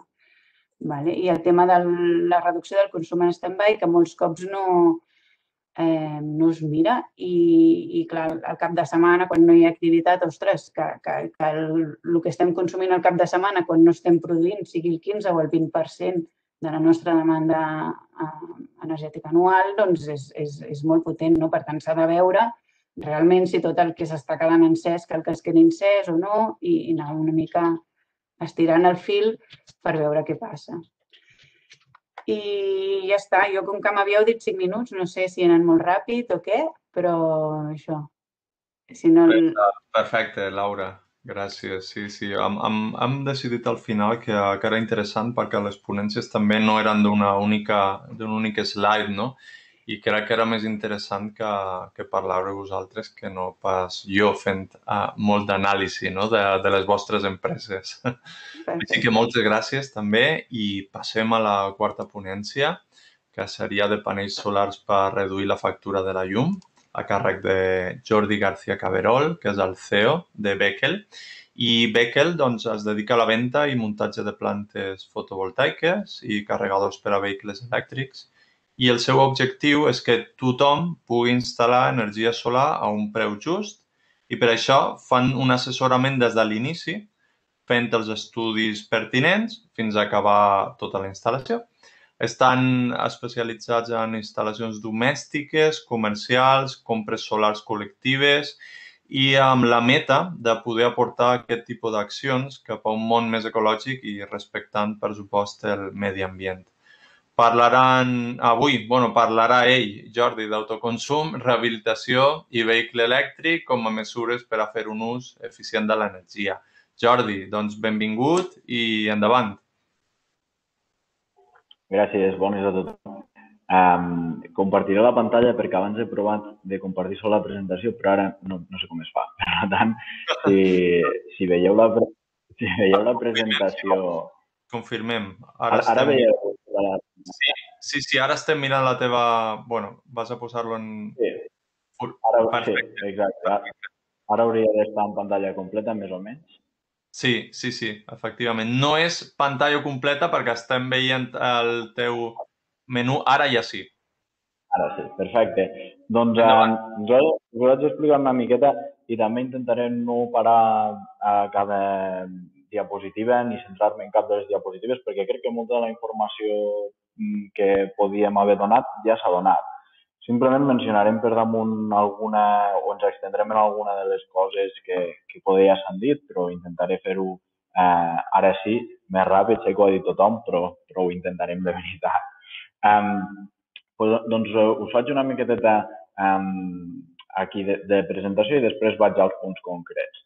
Um, al final, nosaltres, eh, com a empresa especialitzada en energia solar, doncs volem aprofitar el que és eh, el l'únic de moment motor de, de fissió nuclear que tenim al sistema solar i, i que al final ens envia energia gratuïta, doncs, doncs per què no aprofitar-la? No? Si a part tenim un element que és la placa solar, que, que és molt econòmica, de fet la més econòmica per generar energia eh, elèctrica avui en dia, doncs eh, fem-ho possible. No? Comencem en aquests, eh, amb aquesta idea i, i d'alguna manera anem a aprofitar l'energia al màxim possible. No? O sigui, les nostres oficines són una, una nau que crec que té doncs, aproximadament uns 60 o 70 anys, que, que hem remodelat, eh, que hem fet unes oficines de fusta, que és un dels materials eh, ecològics amb, amb més aïllament tèrmic i, i acústic, eh, o així com els vam vendre, no som arquitectes ni, ni sabem tant del tema,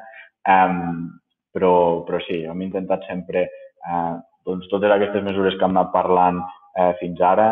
Eh, tenim una, una aerotèrmia de, des del principi, um, tenim vidres de doble càmera per tot arreu des del principi, fusta, o sigui, tot, totes aquestes mesures um, són bàsicament, de fet, qualsevol persona que s'estigui construint qualsevol tipus d'edificació veurà que avui en dia mm, el sobrecost de fer-ho d'aquesta manera més sostenible i, i, bueno, i aïllada i eficient energèticament és eh, fins i tot més econòmica en alguns casos. Eh, per tant, jo us animo a tot allò que us diguin eco i sostenible, escolteu per, perquè poder, poder és més econòmic que molts mètodes convencionals i, i segur que és molt més econòmic a la llarga. Sobretot el tema de l'aerotèrmia, que poder té un, preu un pelet més elevat de començament, però, però és que és, és, és, es rentabilitza en, en no res, quasi gens de temps. I més si llavors ho combinem amb tema plaques solars, no? Si, si l'energia de l'aerotèrmia la generem de forma neta, eh, doncs òbviament aquesta energia ens serà molt més econòmica, per tant l'aerotèrmia encara serà més econòmica de, de fer funcionar. A part d'aquí, i sobretot on estem ara eh, investigant tant per nosaltres com, com per tothom eh, que confia en nosaltres pel tema de plaques solars i, i carregadors de vehicles elèctrics. Nosaltres, eh, la flota de vehicles, ja tenim dos vehicles elèctrics purament eh, i dos híbrids endollables. Intentem també carregar-los sempre aquí de les plaques solars i el que estem intentant ara és agafar... Sí que existeixen sistemes de, de gestió d'energia intel·ligent molt avançats, a preus molt disparatats.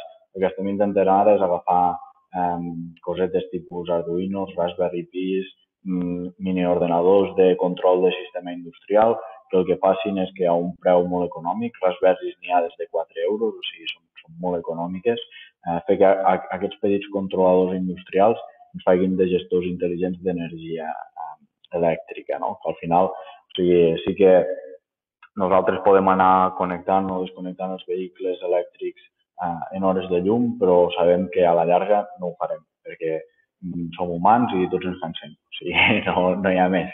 Si he de pensar cada dia en, ostres, que són les 11 i mitja i ara hi un minut i tinc que entrar a una reunió però tinc que enxufar el cotxe, no, no es fa.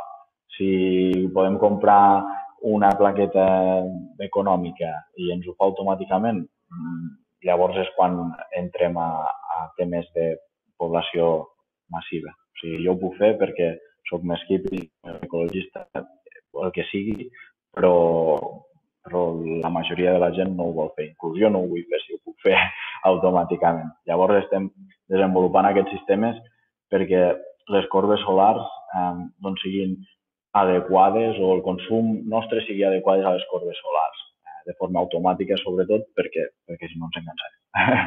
Llavors, eh, amb això doncs, anem ajudant, eh, fem projectes d'autoconsum eh, claus al mas, sobretot perquè és el que ens demanen els clients.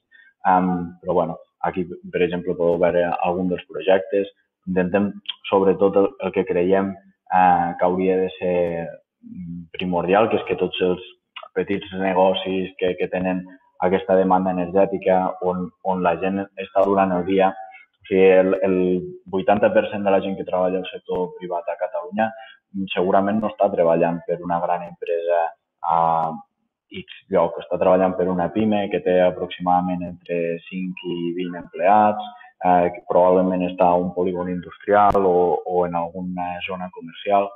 Doncs volem intentar que que aquí que la gent està demandant doncs, eh, clima, està treballant, ordenadors, poder estar, aquesta per exemple que tenim d'exemple, tenen material de construcció, doncs tindran un petit vehicle doncs, per remolcar eh, les càrregues, doncs intentar que totes aquestes eh, demandes de consum siguin eh, provistes d'energia solar. No?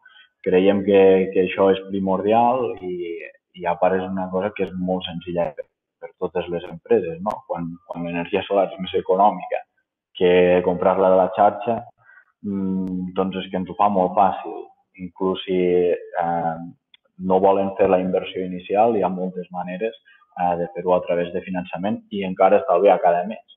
O sigui, eh, les mesures mm, d'estalvi estan allí, en aquest cas les plaques solars, i, i, i ens ajuden a, doncs, a aconseguir aquests objectius. També parlava del greenwashing, Um, jo no crec que empreses de, uh, més aviat d'aquestes característiques, de les pimes de 5 a 20 persones que parlem, tinguin aquesta idea tan, um, bueno, com pot ser Endesa o qui sigui, que va pagar totes les portades durant el COP21, però, però sí que se'n poden beneficiar econòmicament i, òbviament, és una imatge eh, positiva també doncs, per, per la seva marca o la seva empresa. Um, bueno, aquí és una miqueta també el que deia, no? Eh, és, fer-ho allí on fa falta, no? Quilòmetre zero, però, però també doncs, tot, totes les empreses, indústries locals, aquí parlem supermercats, tothom que tingui, diguéssim, un consum diari, eh, tothom que tingui, diguéssim, un petit negoci o, o que estigui treballant en un petit negoci i vulgui impulsar, eh, doncs anar endavant, no? fer-ho. Um, llavors, bueno, aquí ja parlem una miqueta més de, de el tema de com ho fem, però sí que aquí mentre us deixo les, les dades del control parlo um, d'alguns dels punts que s'han anat tocant i, i que poder són bueno, més, més complicats o que, o que ara que tinc també l'orella mm, d'organismes eh, més grans que nosaltres, doncs m'agradaria tractar. No? O sigui, um, per exemple, del clúster s'ha parlat um, que un dels uh, principals factors no, d'aquest sistema energètic és, és la distribució. Mm, nosaltres fa bueno, anys ara ja que, que ens queixem de que bueno, el sistema de distribució és arcaic, és obsolet, eh, és inefectiu. Eh, nosaltres estem ara mateix parlant des de Lleida, on hi ha moltes zones amb xarxes completament oblidades, mm, literalment no es fan manteniments perquè no surt a compte, mm, talls de llum constants, mm, llocs on no es pot ampliar potència perquè la, la línia, inclús la de mitja, no no és prou elevada, problemes serios. A part, que també ens trobem en que la xarxa de distribució és la que ens està limitant en quant a, per exemple, nosaltres ara aquí tenim eh, una nau amb 1.000 metres quadrats de teulada, òbviament no són tants, però, però n'utilitzem eh, 100 pel nostre autoconsum. Mm, el que haurien de permetre aquestes xarxes de distribució és que aquests altres 900 metres quadrats puguin ser emplenats i puguin ser utilitzats per alimentar a un poble que està o a una ciutat que està a 5 quilòmetres cap aquí, 2 quilòmetres cap allà. Um, nosaltres pensem que mm, des de la xarxa de distribució o inclús des de la legislació s'hauria de fer molt um, per atacar aquests problemes que són els que realment ens trobem um, al dia a dia. No? Um, llavors també es parlava molt de les ISOs. Les ISOs um, estan molt bé, però fins on jo sé de les ISOs, ara n'estem passant dos, no concretament la de l'eficiència energètica, sinó la del medi ambient, i la de i la d'empresa de, processos d'empresa. Um, no us vull dir quantitats concretes, però són caríssimes. són molt, molt, molt cares. Um, I parlem de processos d'eficiència energètica quan nosaltres tenim monitoritzat al detall el que consumeix la nau minut a minut, eh, tenim controladors que ens engeguen eh, termos o vehicles elèctrics per aprofitar al màxim les corbes solars. Mm, crec que més que un vídeo, nosaltres aquí ja hem fet un llargmetratge produït pel millor director del món. En quant a petites aplicacions es parla, òbviament. Um, llavors, ostres, tenim que ara um, pagar una ISO que segurament és caríssima una altra vegada. Poder, poder podríem fer algun tipus de, des d'aquí mateix, des de la Generalitat, des de l'ICAM, des d'on sigui, algun tipus de certificació que ens eh, d'alguna manera ajudi eh, a tenir les mateixes garanties que una ISO sense tinguer que pagar els costos infinits eh, del mateix. Um, I el transport públic, que també s'ha tocat una miqueteta, um, o sigui, nosaltres sí que intentem en tema de transport doncs, passar tota la flota cap a elèctrics um, o els cotxes més ecològics possibles, però, però per exemple, um, per on nosaltres estem, la freqüència d'autobusos és poder dos al dia, no, no ho sé exactament, la veritat. Però a Barcelona, i, i òbviament és una queixa eh, important, no? Rodalies o, o qualsevol sistema de transport que tingueu, mm, però, però aquí tenim un sistema de transport que funciona malament i, i que és completament... Eh, no, no en pots dependre. Llavors, Mm, aquí també animo a la reflexió, no? perquè si, si realment es vol canviar les coses, doncs, doncs potser també s'ha de pensar una miqueta més cap al territori, eh, perquè també ha de ser un motor, eh, creiem, de, de canvi. No? O sigui, al final, tot el que serà mm, plantes solars no, no les podrem ficar al mig de Barcelona. Mm, inclús si, si pensem en implementació massiva de, en teulades, um, o sigui, en plaques solars en teulades. Mm, les teulades més extenses tampoc estan a Barcelona. Um, si pensem en coses um, més respectuoses pel medi ambient, com pot ser uh, l'energia agrovoltaica, que és aquesta que es parla de ficar damunt de cultius existents per no desplaçar uh, conreus actuals, doncs aquesta també serà doncs, més aviat en llocs rurals, eh, no serà en el centre de les ciutats. Per tant, també animo a pensar en que, en que hi ha més territori més enllà d'aquells, em sembla que són aproximadament uns 100 quilòmetres quadrats al centre de Barcelona, um, i, que, i que estem aquí, estem tots lluitant uh, pel mateix objectiu i, i doncs uh, estem aquí per ajudar també. I amb això ja, ja acabo, mm, ja no tinc res més del que parlar. Um, us passo la paraula una altra vegada, no, no sé qui li toca ara mateix, però... Doncs em, em toca a mi sempre, o sigui, Jordi, no, no et preocupes.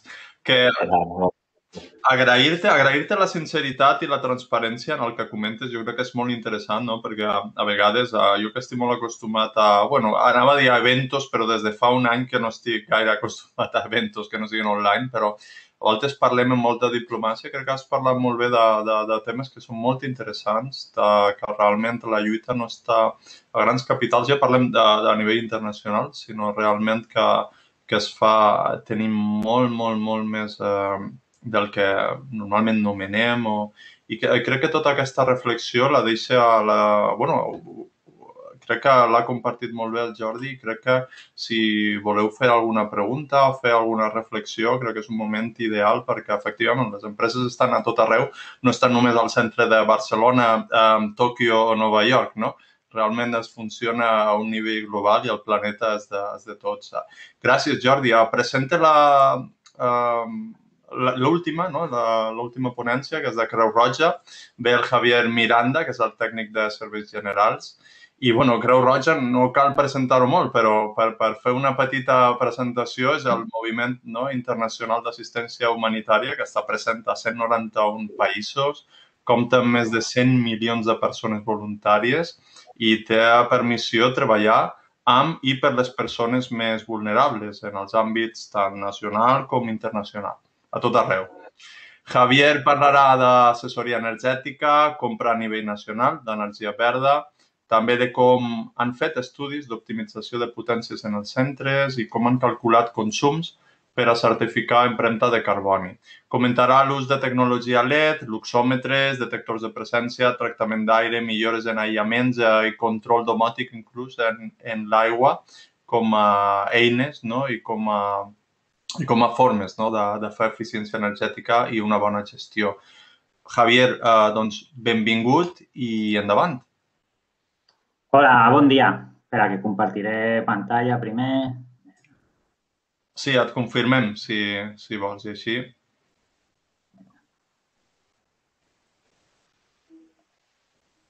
Un moment, que volia...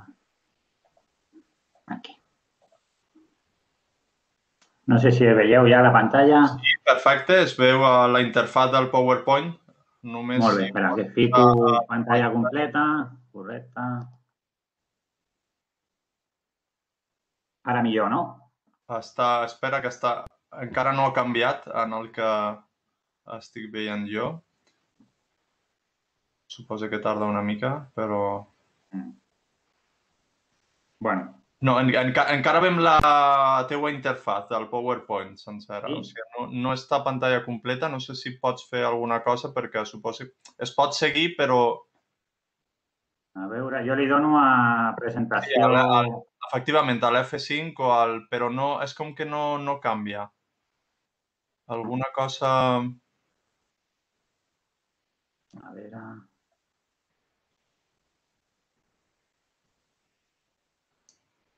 Serà un bocot de les elèctriques o no sé, algo... No sé. Podria ser. um, no, mira, si no, si no es pot, uh, doncs crec que es pot llegir si la lletra no és... Uh... Bueno, massa, no, no, no farem massa... Tampoc tinc massa diapositives, és un parell de diapositives el que volia presentar-vos o tres. Eh, doncs endavant, endavant sí. Vale. Jo he volgut, he volgut separar una mica el que és la presentació d'aquest dia en el que fem a nivell, diguem, nacional de grup i després explicar-vos una mica el que fem, a, el que, les millores que hem pres a, a la seu autonòmica que tenim aquí al carrer Joan d'Àustria, al costat de, de Marina. Llavors, eh, era explicar-vos aquestes millores i abans presentar-vos a, com tenim un CIF únic a, a nivell nacional de, de Cruz Roja Espanyola, hi ha moltes decisions que es prenen a, a oficines centrals des de Madrid. Llavors estem una mica acotats en, en algunes coses però bueno, eh, deixen fer bastant. Eh? Llavors, eh, les millores a nivell de grup de, de Cruz Roja, com es deia, eh, tenim una contractada una assessoria energètica a nivell nacional que, a part d'ajudar-nos a negociar els preus a, que ho fem anualment, eh, renovem anualment els contractes i, i mirem sempre, a part del preu, de comprar energia 100% verda, eh, el que ens han fet és un estudi d'optimització de potència a tots els nostres centres. Penseu que només a Barcelona ja tenim més de 125 centres, llavors és, és una feinada important. I, per exemple, l'estudi aquest que ens han fet d'optimització, per exemple, a la seu nostra, eh, per ficar un exemple, tenien contractats 325 quilowatts i els hem reduït a, a 260 eh, quan van fer aquest estudi. I això, aquí a nivell de, de Barcelona, que jo recordi, em sembla que van fer una reducció de potència a 15 o 20 centres. No a, no a un no tan gran nivell com és la seu autonòmica, perquè els centres altres són més petits, però bueno, eh, l'estudi que es va fer va ser important. A part, eh, amb aquesta assessoria energètica eh, tenim un control mensual dels consums que, que ens ajuda sobretot perquè estem certificats eh, en la nostra empremta de, tenen certificada la nostra empremta de carboni, no, no només eh, amb el, el consum elèctric, sinó el consum de paper, els viatges que fem. Llavors, eh, a partir d'aquesta empremta de carboni sí que tenim, faig un petit incís aquí perquè tenim un projecte que, que jo crec que, que és important d'explicar, perquè la Creu Roja, com, com ja, ja coneixeu, eh, un dels nostres lemus, eh, dels lemes és compromesos amb les persones i hem, hem la coletilla de compromesos amb les persones i amb el medi ambient i un projecte de, de pobresa energètica que el que fem, eh, a millor altres empreses el que fan és eh, eh, la nostra empremta de carboni és tant i amb això fem un canvi i plantem no sé quants arbres. Eh, la Creu Roja no té sentit que faci una plantació d'arbres, i el que fa és, amb el càlcul, el càlcul de l'empremta, eh, fa una estimació econòmica i ajuda a, a usuaris nostres o usuaris em, a erradicar la pobresa energètica. Com ho fem, això? No només consisteix en, en fer un pagament de, la, de les factures, perquè no tindria sentit, sinó que fem unes sessions de formació i a part eh, estem anant a, a les vivendes i estem fent canvis de, de lluminàries, canvis de calderes, canvis d'electrodomèstics de, per un altre més eficients. I bueno, això es fa a nivell local, es calcula, per exemple, si el centre de Badalona té una estimació de, de 120 tones de, de CO2, doncs això ajuda a 120 famílies, per exemple. No? I, bueno, és un projecte maco que, que no té massa a veure amb, amb la ponència que estem fent, però bueno, m'agradava haver-ho explicat. Després, eh, més eh, millores a nivell del grup. Eh, a nivell nacional també tenim, eh, bueno, a nivell nacional no, això seria a nivell autonòmic. Eh, en diversos centres nostres tenim el distintiu ambiental de la Generalitat, que ens obliga per poder presentar-nos i per poder eh, obtenir-lo hem de tenir uns requisits mínims que ens obliga a tenir un 80, ara no recordo justament perquè han canviat els requisits de l'any passat, eh, a tenir un 80-85% de, de la lluminària que sigui classe mínim classe B, eh, que les calderes tinguin el cop, eh, tal, tal. Bueno, hi ha una sèrie de requisits, a part de, de, la, de tot el tema de residus i tot el tema de, de mobilitat i tot, de, de, de, de tot això, eh, bueno, eh, és un... Eh, perdó, eh? És un, és un distintiu que tenim ara mateix, em sembla que tenim a 10-12 centres aquí a, a Barcelona i, i estem mirant d'ampliar-ho a Tarragona, a Lleida i Girona. Val? I per no estendre massa més, aniré també a, us explicaré les millores que hem fet a, a nivell de l'edifici autonòmic, que es va fer una remodelació de tota la seu nostra que va finalitzar el 2017. Eh, què hem fet eh, a la nostra seu? Hem col·locat eh, eh, il·luminació LED a, a tota banda, hem col·locat eh, l'usòmetres d'encès de, automàtica a, a les zones de façana. Una vegada que detecten que tenim els 500 lustres que marca el Real Decret del 486 d'il·luminació mínima. En, en tarees d'ordinador s'apaga tota la banda aquesta de façana. Tenim col·locat detectors de presència en banys i, i passadissos que no, perquè no es quedin les llums enceses. Tenim un sistema URV de clima eh, centralitzat amb una programació horària que se, perquè s'ensegui ensegui abans de, de que arribi la gent i tenim quatre ordres d'aturada durant el dia. Eh, comencem amb una aturada a les 5 de la tarda, una altra a les 7, una altra a les 8 i una altra a les 10, per si de cas algú es quedés treballant a l'oficina i, i l'aire el tornés encès, a encendre.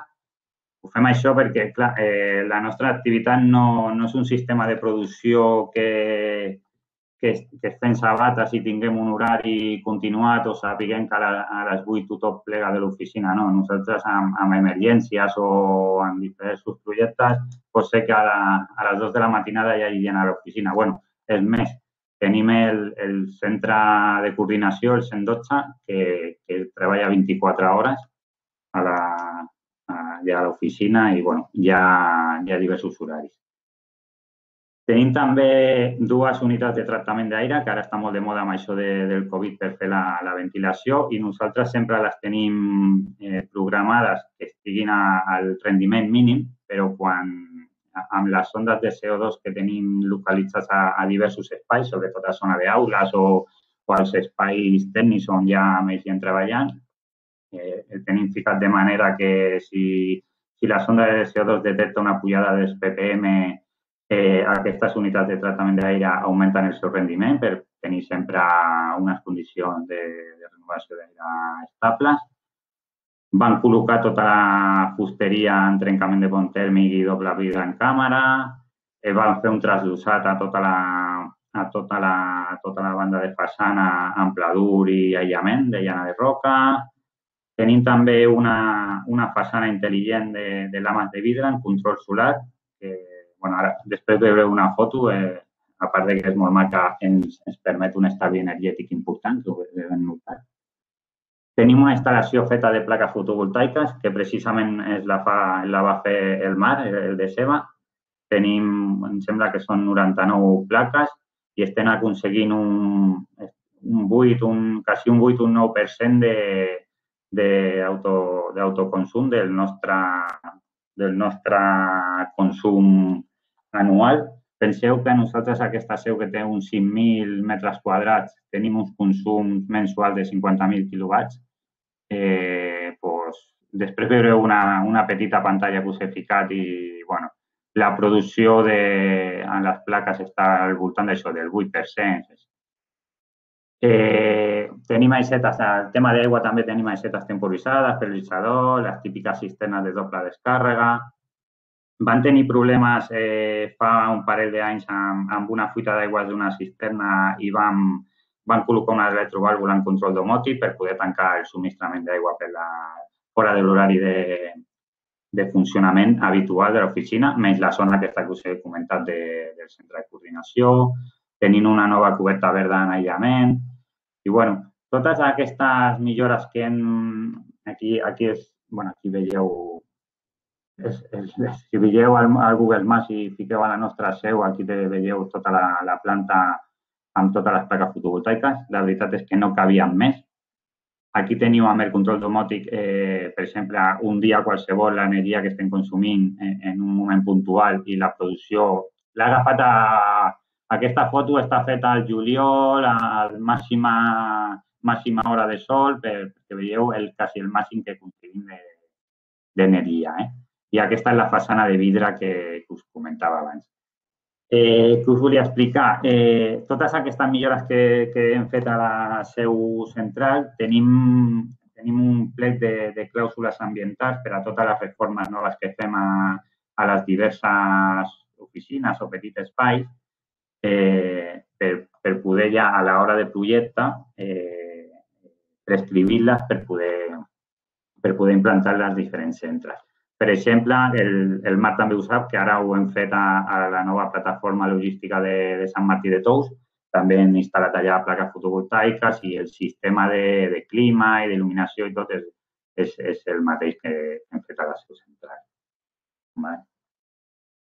I jo, Gerardo, no tinc massa cosa més per explicar-vos perquè ja heu explicat tot el tema vosaltres de consum. No, no he volgut entrar en temes de, de gràfiques de consums que tenim perquè ja entenia que ho feien les altres empreses i ja et dono la paraula. Perfecte, molt bé. Gràcies a Javier. Doncs entrem en el torn de preguntes, no? Gràcies a tots per la vostra participació. Tenim aquests eh, 15 minuts, crec que per a preguntes podeu fer-les al xat i les traslladem i doncs cadascú doncs, que, que ho conteste. Mentre arriba la primera pregunta, doncs a mi, eh, bueno, evidentment voldria fer alguna, tinc, tinc diverses, tinc moltes, però bueno, una en concret que m'afecta a mi també professionalment. No? La Laura Jarauta, en aquest cas, comentava la, la importància de tindre un software online i Lluís Morel deia que no hem de fer fotos, que hem d'aconseguir informació en temps real, que cal tindre bons vídeos. Clar, com jo vinc d'una empresa amb un software cloud de gestió energètica, la, la pregunta per mi és obligatòria. Té sentit per a vosaltres invertir en IoT i monitorització energètica o penseu que es pot fer una bona gestió energètica amb dades puntuals? Podeu contestar qui, qui vulgui. O tots, eh, sense problema. Obriu el micro. I si no voleu contestar, clar, si conteste jo diré que sí, però voldria debatre un poc si això és útil o, o no.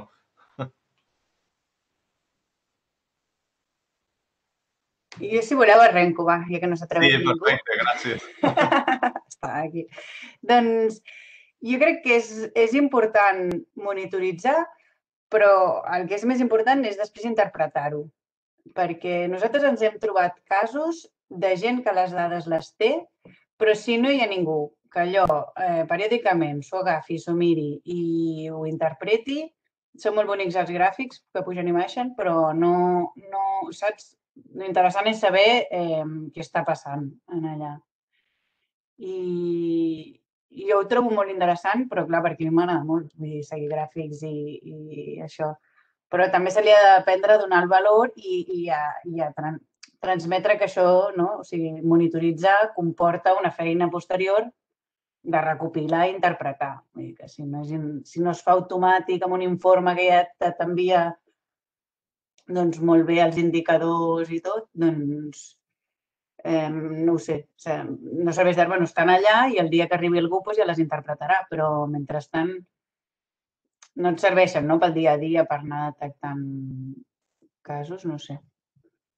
Sí, evidentment nosaltres el que havíem detectat un poc com a ajuda, ja, ja per fer-me autocrítica, no? perquè si no és com que sempre parles positivament de la monitorització, però és un poc com si tinguérem un informe... bueno, no sé si gasteu aplicacions de, de running o tot això, no? que ara està molt de, de moda, són molt pràctiques, però realment els indicadors, els ràtios, eh, són molt concrets, no? És el pas, quilòmetres hora, quina distància has fet, calories, no? Que és una cosa que molta gent li, li interessa, però no abrumen amb una quantitat de dades molt gran. Jo, jo crec que el tema de la monitorització està en fer-ho més fàcil i que es pugui entendre, perquè, evidentment, eh, en, el, en el teu cas, eh, Laura, tu tens una, una formació molt forta a nivell d'enginyeria i d'energia, per tant, tu pots interpretar una sèrie de dades que la majoria de gestors d'empreses o de financers doncs, no, no poden al igual que nosaltres, o jo que no sóc financer, doncs entre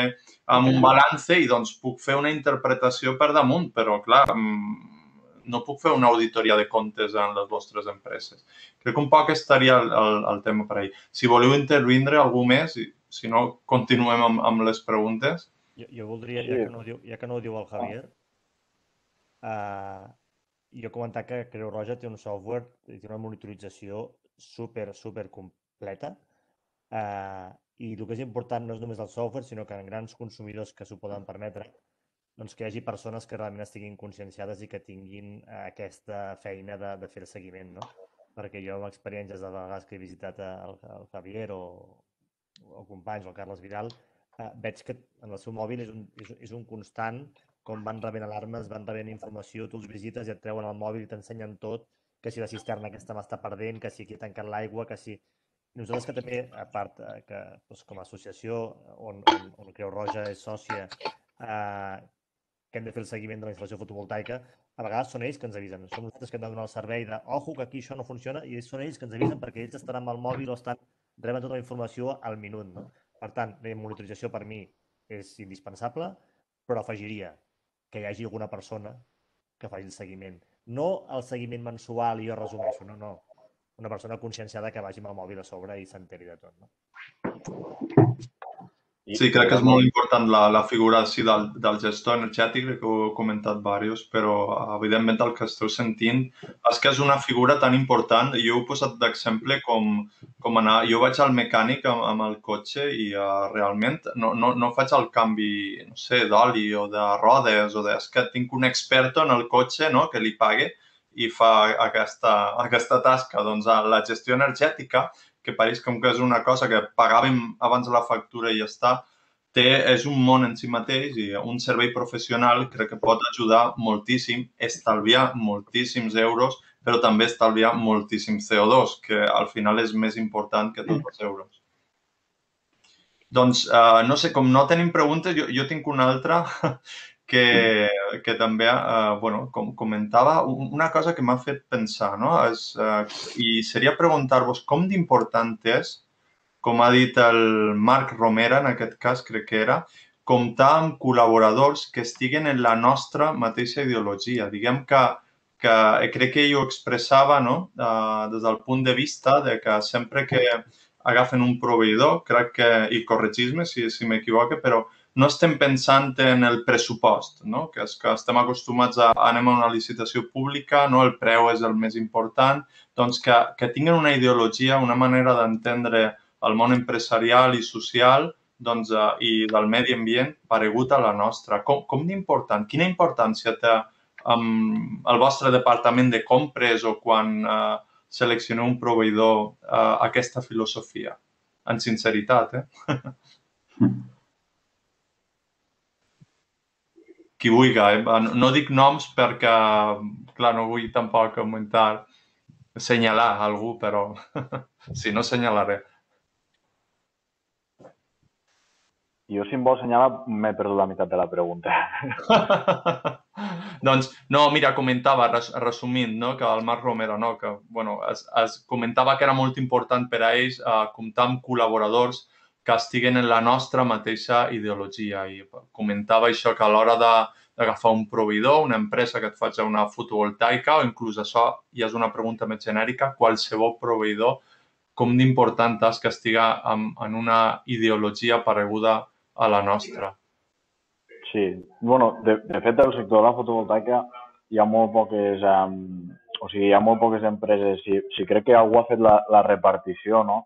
Eh, en enginyeria, hi ha poder la majoria de gent, no? però, però bàsicament en instal·lacions o, o tema de distribució i de més, eh, més aviat n'hi ha poc. No?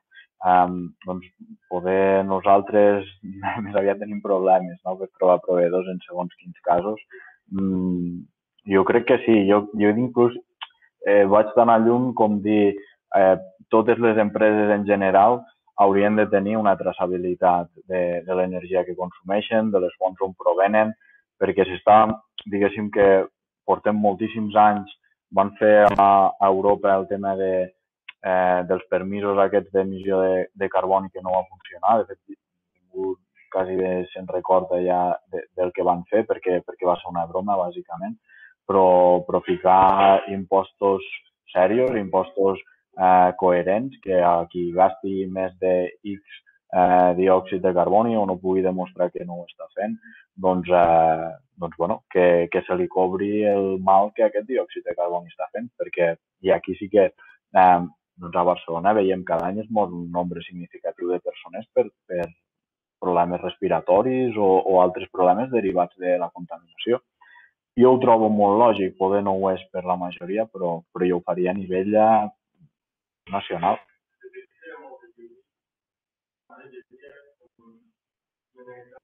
Exacte, si voleu algú més, uh, també contestar. Remarcar, remarcar eh, això, que, això que deies tu d'ideologia, no?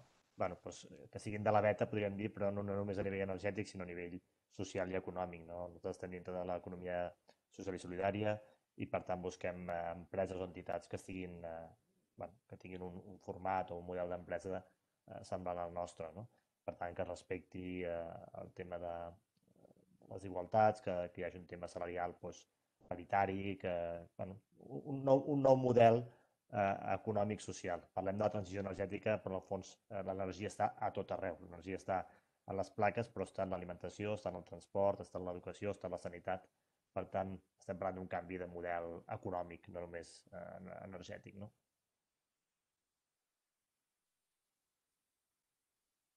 Doncs, uh, bé, continuant una altra pregunta. Si uh, no tenim molt de temps, si algú insistir, si algú en el, en el xat vol preguntar alguna cosa, ho traslladem. Tenim cinc minutets, crec.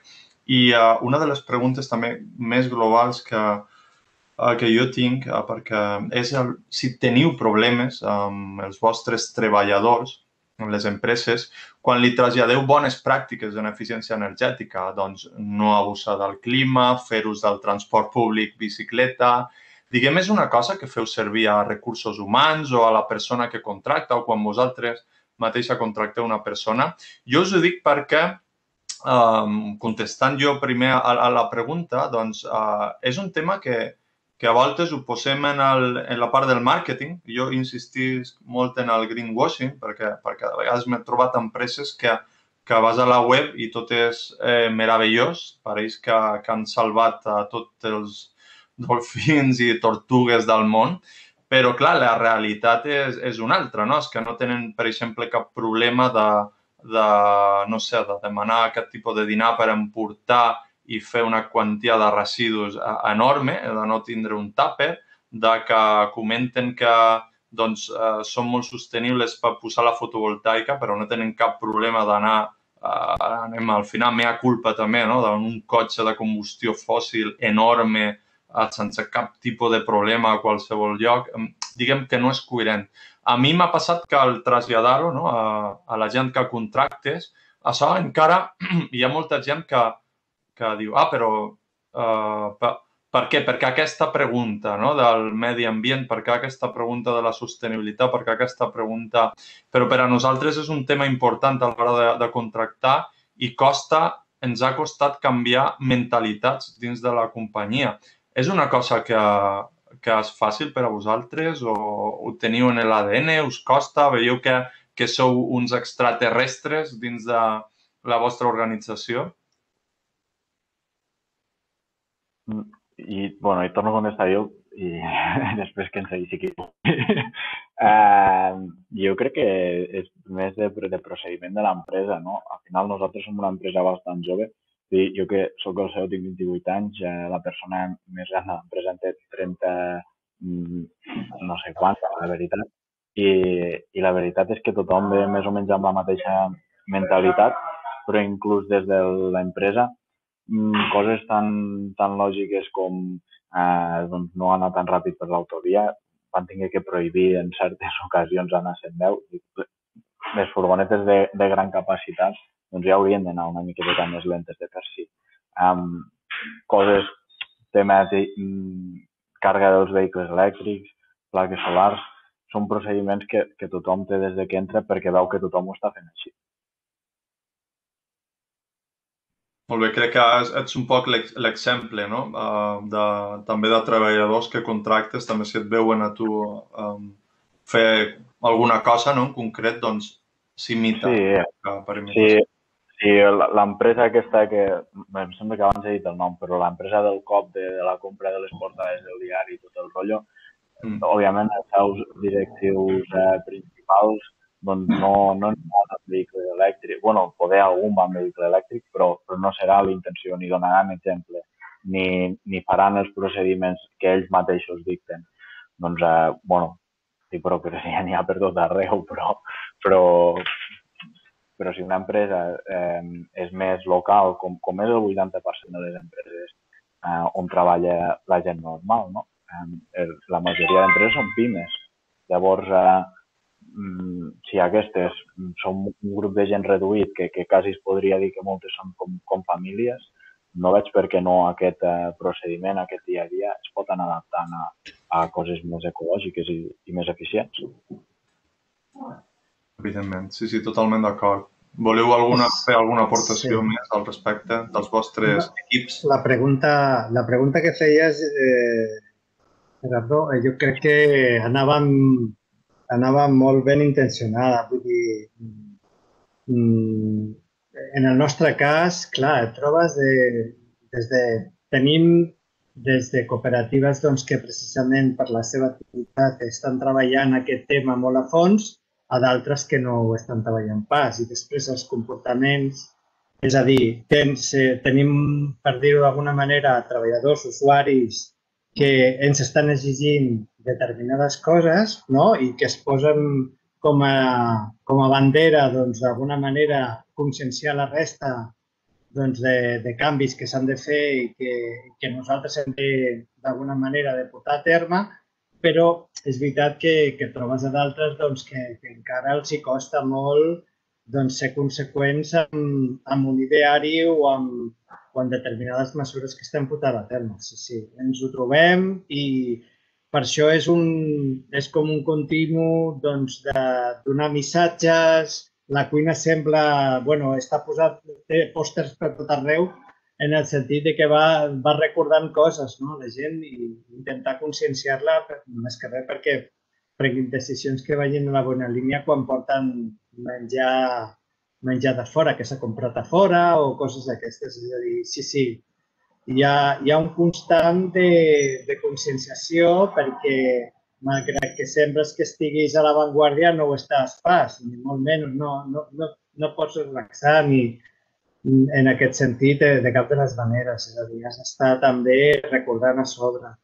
I, i, I després es van generar també necessitats. Vull dir, ara, per exemple, nosaltres vam fer una inversió l'any passat en, en, en, en la instal·lació d'un pàrquing per bicicletes a dins de, del nostre local, doncs ja se'ns ha quedat petit. Vull dir, clar, arriba, arriba un moment que tenim tot el passadís ple de bicicletes, perquè, perquè ja les 5 o 6 que teníem penjat, que estan penjades, ja no tenim més espai. Vull dir que, que són coses que, que sobre la marxa, la pròpia, el propi, no sé, l'actitud, la, les accions que, que els propis usuaris, que els propis treballadors estan portant a terme, doncs, eh, ens, ens adonem doncs, que, que ens obliga a fer canvis i a millorar.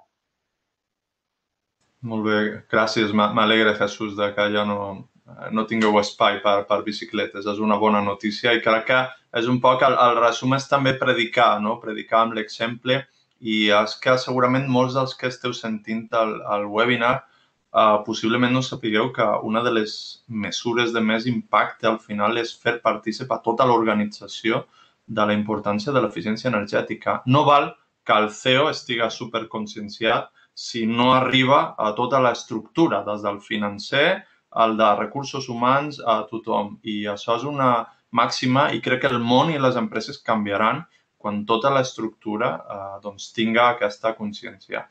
Jo, Laia, crec que com estem en el temps, no? eh, et, pas, et dono la paraula i agrair la vostra participació una, una vegada més i molt, molt interessant totes les experiències que hem compartit. Gràcies. Quan vulguis. Vale. A vosaltres. Gràcies, Gerardo. I, ui, tenim un soroll de fondo. Ja està. I gràcies també a tots els que heu presentat, en Jesús, en Marc, la Laura, en Jordi i en Javier. Moltes gràcies a tots per participar. Uh, bueno, crec que ha sigut molt interessant i ara estic que passem a la part final, que jo crec que ens ocuparà uns 15-20 minutets més, el que trigui l'Adrià, uh, que ens explicarà, com ja us hem dit al principi, doncs, aquesta plataforma online um, per crear gestors energètics, no? aquesta figura que estàvem comentant, doncs perquè les empreses s'hi puguin apuntar i puguin tenir un gestor energètic dins la seva entitat. Quan tu vulguis, Adrià. Merci, Laia. I, i res, segueixo amb el, que, amb el que deia ella. Moltes gràcies a tots els que heu, que heu fet les presentacions. Crec que ha sigut molt, molt interessant. Eh, aviam, deixa'm un moment compartir la pantalla. Esteu veient ara la, la presentació? Perfecte. Sí, perfecte. Doncs, res, jo volia només emmarcar una mica la, la jornada, no? que l'hem pogut fer a través d'aquest projecte que estem desenvolupant des d'Ecoserveis, que està vinculat amb la gestió energètica de les, de les pimes, i era explicar-vos una mica el projecte Bàsicament, la, la idea d'aquest projecte neix no? doncs de que partim de que la gestió energètica, com, com ja s'ha vist en la jornada, és un punt a tractar que és molt important i que potser les empreses més grans sí que tenen més recursos no? per fer la seva pròpia gestió energètica, per tenir el seu personal o, o subcontractar algú doncs, que de manera més especialitzada eh, els hi pugui fer la gestió energètica, però veiem que les pimes no? acaba sent un, un, una part molt gran, no? perquè tenim, doncs, per exemple, a, a nivell espanyol, no sé si és el 90 i pico per cent d'empreses són, són pimes, de manera que, que és un punt a abordar molt important, la gestió energètica en les, en les pimes, que moltes vegades, com, com hem vist, doncs no tenen prou recursos per fer-ho de manera autònoma. Aleshores, a partir d'aquí, el projecte planteja eh, fer una formació en la que vosaltres, els que estigueu per aquí escoltant, doncs us hi podríeu apuntar, de manera que mm, podríeu fer doncs, que un o dos treballadors de la vostra entitat doncs, esdevinguin eh, gestors energètics de la vostra pròpia empresa i partint des de zero doncs, podríeu aprendre doncs, a optimitzar l'ús de l'energia, com veiem, doncs, aconseguir estalvis, ser més eficients en el nostre dia a dia. En el projecte hi participem, a banda de, de nosaltres, Ecoserveis, hi participen altres entitats com Thomas More, que és una universitat de, de Bèlgica, a Balikesir, eh, l'associació que és, és de Turquia, i després està també la Càmera de Comerç de Pàdova i la Càmera d'Instal·ladors de, de Bulgària. I explicar-vos que la formació eh, seria una formació que es faria en format online, i que hi ha una sèrie de, de temes que es van passant doncs, des del primer fins al, fins a l'últim, que es pot fer al vostre ritme, és a dir, no cal que sigui molt intensiu, es pot espaiar en el temps el que cadascú volgués. Cada mòdul hi, ha, hi haurien a, a diferents eh, exercicis o preguntes test d'avaluació per, per comprovar que s'han assolit els coneixements i, i tot es treballa a través d'una plataforma Moodle on allà es penjarien vídeos, documents, e, eines i Excels i, i una mica de tot. Eh, I allà també doncs, podeu contactar amb, o amb professors o, o obrir debat amb altres participants i, i sobretot el que crec que ho fa més atractiu és que és una formació que és gratuïta perquè està doncs, subvencionada per la, per la Comissió Europea, que en aquest sentit doncs, doncs crec que és interessant. I res, aquí teníeu una mica els diferents mòduls, és a dir, es tracten una sèrie de temes des, de, des del més introductori per si és algú que no té coneixements en, en l'àmbit energètic, fins a temes com comentàvem de, de monitorització, de, de fer auditories, es, es fa servir també eines Excel on allà es poden recopilar les dades i fer l'anàlisi de les dades, no? I una mica després també com, com, com comentava ara abans el Gerardo, no? també com traspassar aquest coneixement o, o aquest canvi de, de mentalitat o d'hàbits que pugui implicar la gestió energètica a la resta de l'equip. És a dir, una mica s'aborda tot el que és la gestió energètica d'una manera integral. Aleshores, aquí tenia un parell de mòduls per comentar-vos en el set, per exemple, que és el d'auditories, no? doncs es, allà es tracta ja més temes com és el de la potència, l'energia reactiva, les condicions de temperatura, no? tot el que, totes les variables que, que, que podem tenir en compte a l'hora de, de fer la gestió energètica, després també temes com els aïllaments, no? veure quines opcions hi ha, en, en definitiva detectar quines són les febleses de la seu on vosaltres estigueu treballant per després mirar de quines accions s'hi poden prendre. Després també està el tema de monitorització, que ja n'hem parlat eh, avui també, crec que és un tema interessant i que pues, a través de la formació podríeu aprendre vosaltres mateixos a fer-vos la, la monitorització de, de la vostra seu. Hi ha diferents dispositius, hi ha moltes maneres de monitoritzar, no? I, i veuríeu que, doncs, que que vosaltres mateixos hi ha, hi ha aparells que es poden, que podeu instal·lar directament al quadre elèctric que són, que són prou senzills i que ja et poden donar, si més no, uns resultats prou, prou complets per fer ja una anàlisi amb cara i ulls que després us permeti uh, aconseguir estalvis i, i conèixer més a fons el, els consums i a, i a on es pot uh, incidir més no? per, per mirar de reduir-lo. I, i res, bé, com comentava, doncs, doncs això, no cal que no hi ha requisits previs, és a dir, es pot partir des de zero, tothom qui l'interessi hi podria participar.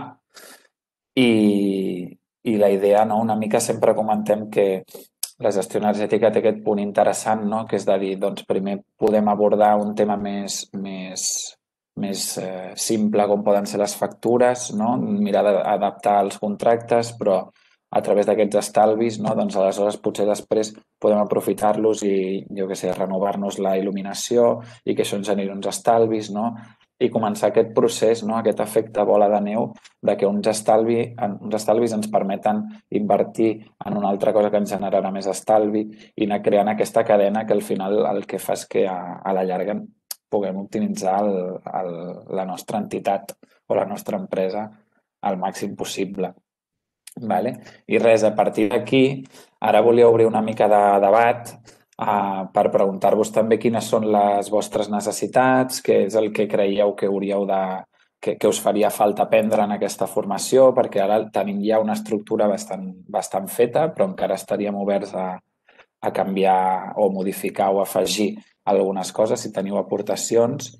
I, i bueno, per no fer-vos obrir el micro ara sí de, de, de golpe, havia pensat un, un parell de dinàmiques, fer-vos algunes preguntes que vosaltres em poguéssiu respondre des del vostre telèfon mòbil, si us sembla bé, pensat així per tancar la, la sessió d'una manera així una mica més interactiva, més, més divertida i diferent. Si us sembla bé, jo tinc aquí, aquí preparat. Aviam. Vosaltres espero que ho pugueu, que ho pugueu veure. Uh, em, em confirmes, Laia, que es vegi bé? Sí, vale. Doncs hauríeu d'anar amb, el, amb el vostre mòbil a la, a la pàgina menti.com, que veieu que ho fica aquí dalt de la pantalla, i veureu que us demana un, un codi, que bàsicament poseu aquell codi i aleshores podreu respondre la, la pregunta, que, aquesta primera que us faig, que seria quants treballadors sou a la vostra entitat. Crec que està bé per saber doncs, de tots els que estem aquí avui no? doncs, quin, quin perfil d'empreses tenim una mica. I aprofitaré i respondré també amb vosaltres.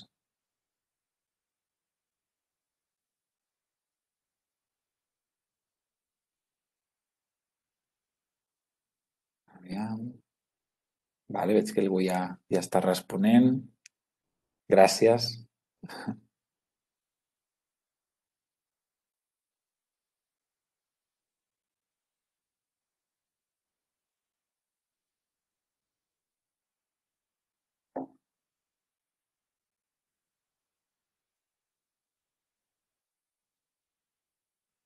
Vale, veig que, com veieu, ja s'està començant a dibuixar un, un gràfic i veiem que la majoria...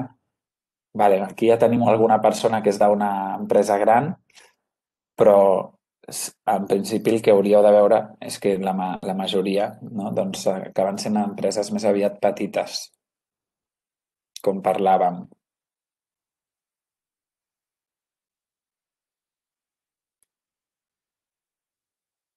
Sí, veig que la, la majoria, si més no, som empreses de menys de 10 treballadors. És interessant, és interessant saber-ho també.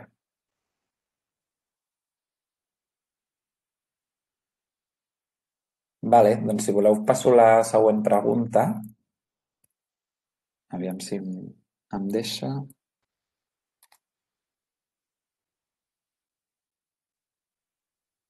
Mm, aquí. M'agradaria saber si coneixeu la despesa energètica que té la vostra entitat. És a dir, quants euros suposa l'any els consums energètics. Ni idea. Veus? Això també és el que, és el que té, no? que potser si no ens hi hem parat a pensar mai, doncs no, realment no sabem no? Quan, quan estem gastant.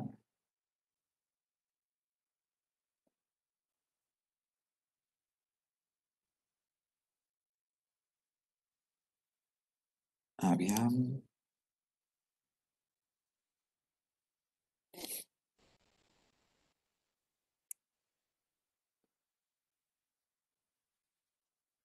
-hmm.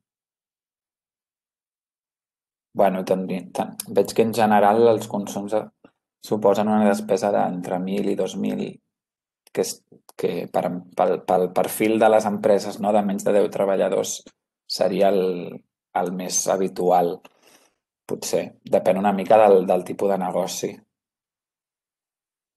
Clar, com si teniu una... Si algú té una despesa molt, molt gran, home, el, els que teniu entre 5.000 i 10.000 euros l'any, doncs aquest, seríeu uns bons candidats per, perquè es fes una, una auditoria energètica o per apuntar-vos a la formació, perquè potser, clar, com més despesa hi ha, pot ser que més potencial d'estalvi de, trobem.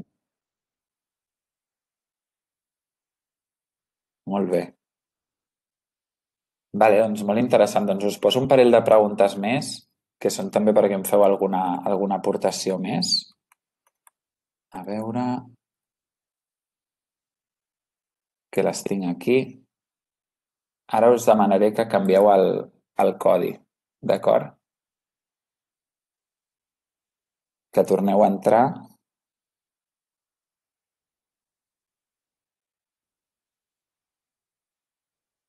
I aquesta seria doncs, que penseu en què creieu que es pot optimitzar més.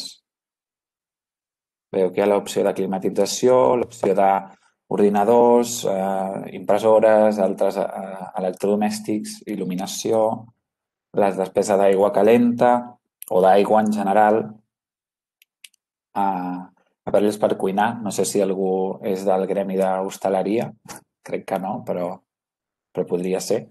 I després, eh, si alguns treballeu amb altres maquinàries grans, com motors eh, o aparells que siguin de gran consum,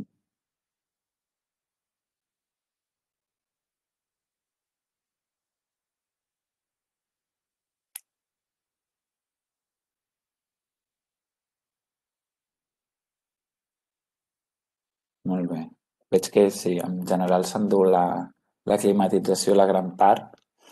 Jo estaria bastant d'acord, de fet, perquè en general la climatització sol, sol endur-se la major part del, del consum, sobretot en espais petits, en, en, a nivell de grans empreses eh, o industrials igual, depèn de l'activitat, pot ser que altres factors hi intervinguin més, però la climatització acostuma a ser un, un punt a, que s'ha de treballar molt, també perquè partim de, que, de la base de que molts edificis no, doncs, tenen categories energètiques baixes. No? Tenim que el, 8, el 80% de, de les edificacions doncs, són o bé una E o una F o una G. No? És a dir, tenim un, un parc d'edificis molt, molt vell i això fa que la despesa de climatització sigui molt, molt gran també.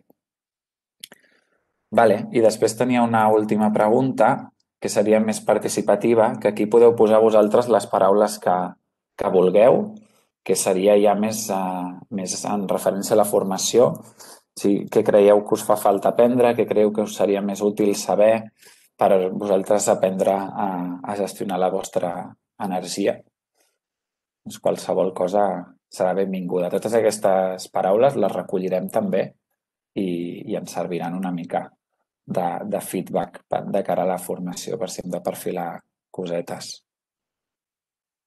I, i res, a partir d'aquí, doncs, des, després que, que respongueu, si algú vol obrir micro i fer algun comentari, voleu obrir debat d'alguna cosa, algun aspecte, doncs eh, encantats. Llegir factures. Sí, jo crec que és el, el, el punt bàsic, no? Seria el, el, la primera cosa que s'ha de tractar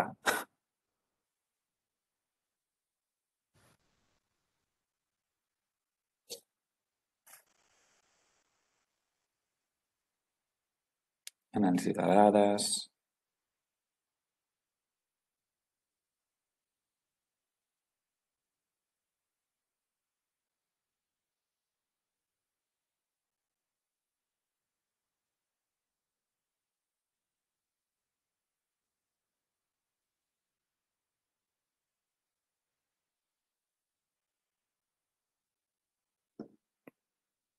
Molt bé, molt bé. Moltes gràcies eh, per la participació, que fa, fa goig que comenci a haver bastantes paraules per aquí.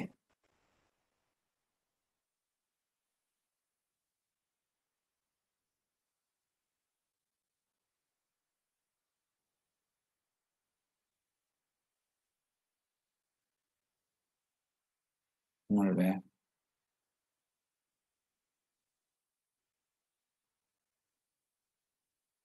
Tu, Laia, vols dir alguna cosa? Vols fer algun comentari? No, només que mira, una de les coses que sí que no contemplàvem a la formació, però que en realitat la podríem afegir perquè estem, ja us hem oberts a més possibilitats, és això no, que posa el de conèixer ajuts i subvencions, que es, es pot ser és veritat que al ser un projecte europeu jo crec que hem pensat molt en una plataforma que servís per tothom i que per tant l'hem pensat, no? o sigui, per qualsevol país d'Europa i potser no hem aterrat prou a lo local. No? I hauríem potser doncs, d'incloure un o dos mòduls que fossin més com específics de que cada país o cada territori si, que pogués parlar més de les especificitats que ens trobem més a nivell regional. O sigui que està, està bé perquè hauríem de tenir un compte. Genial.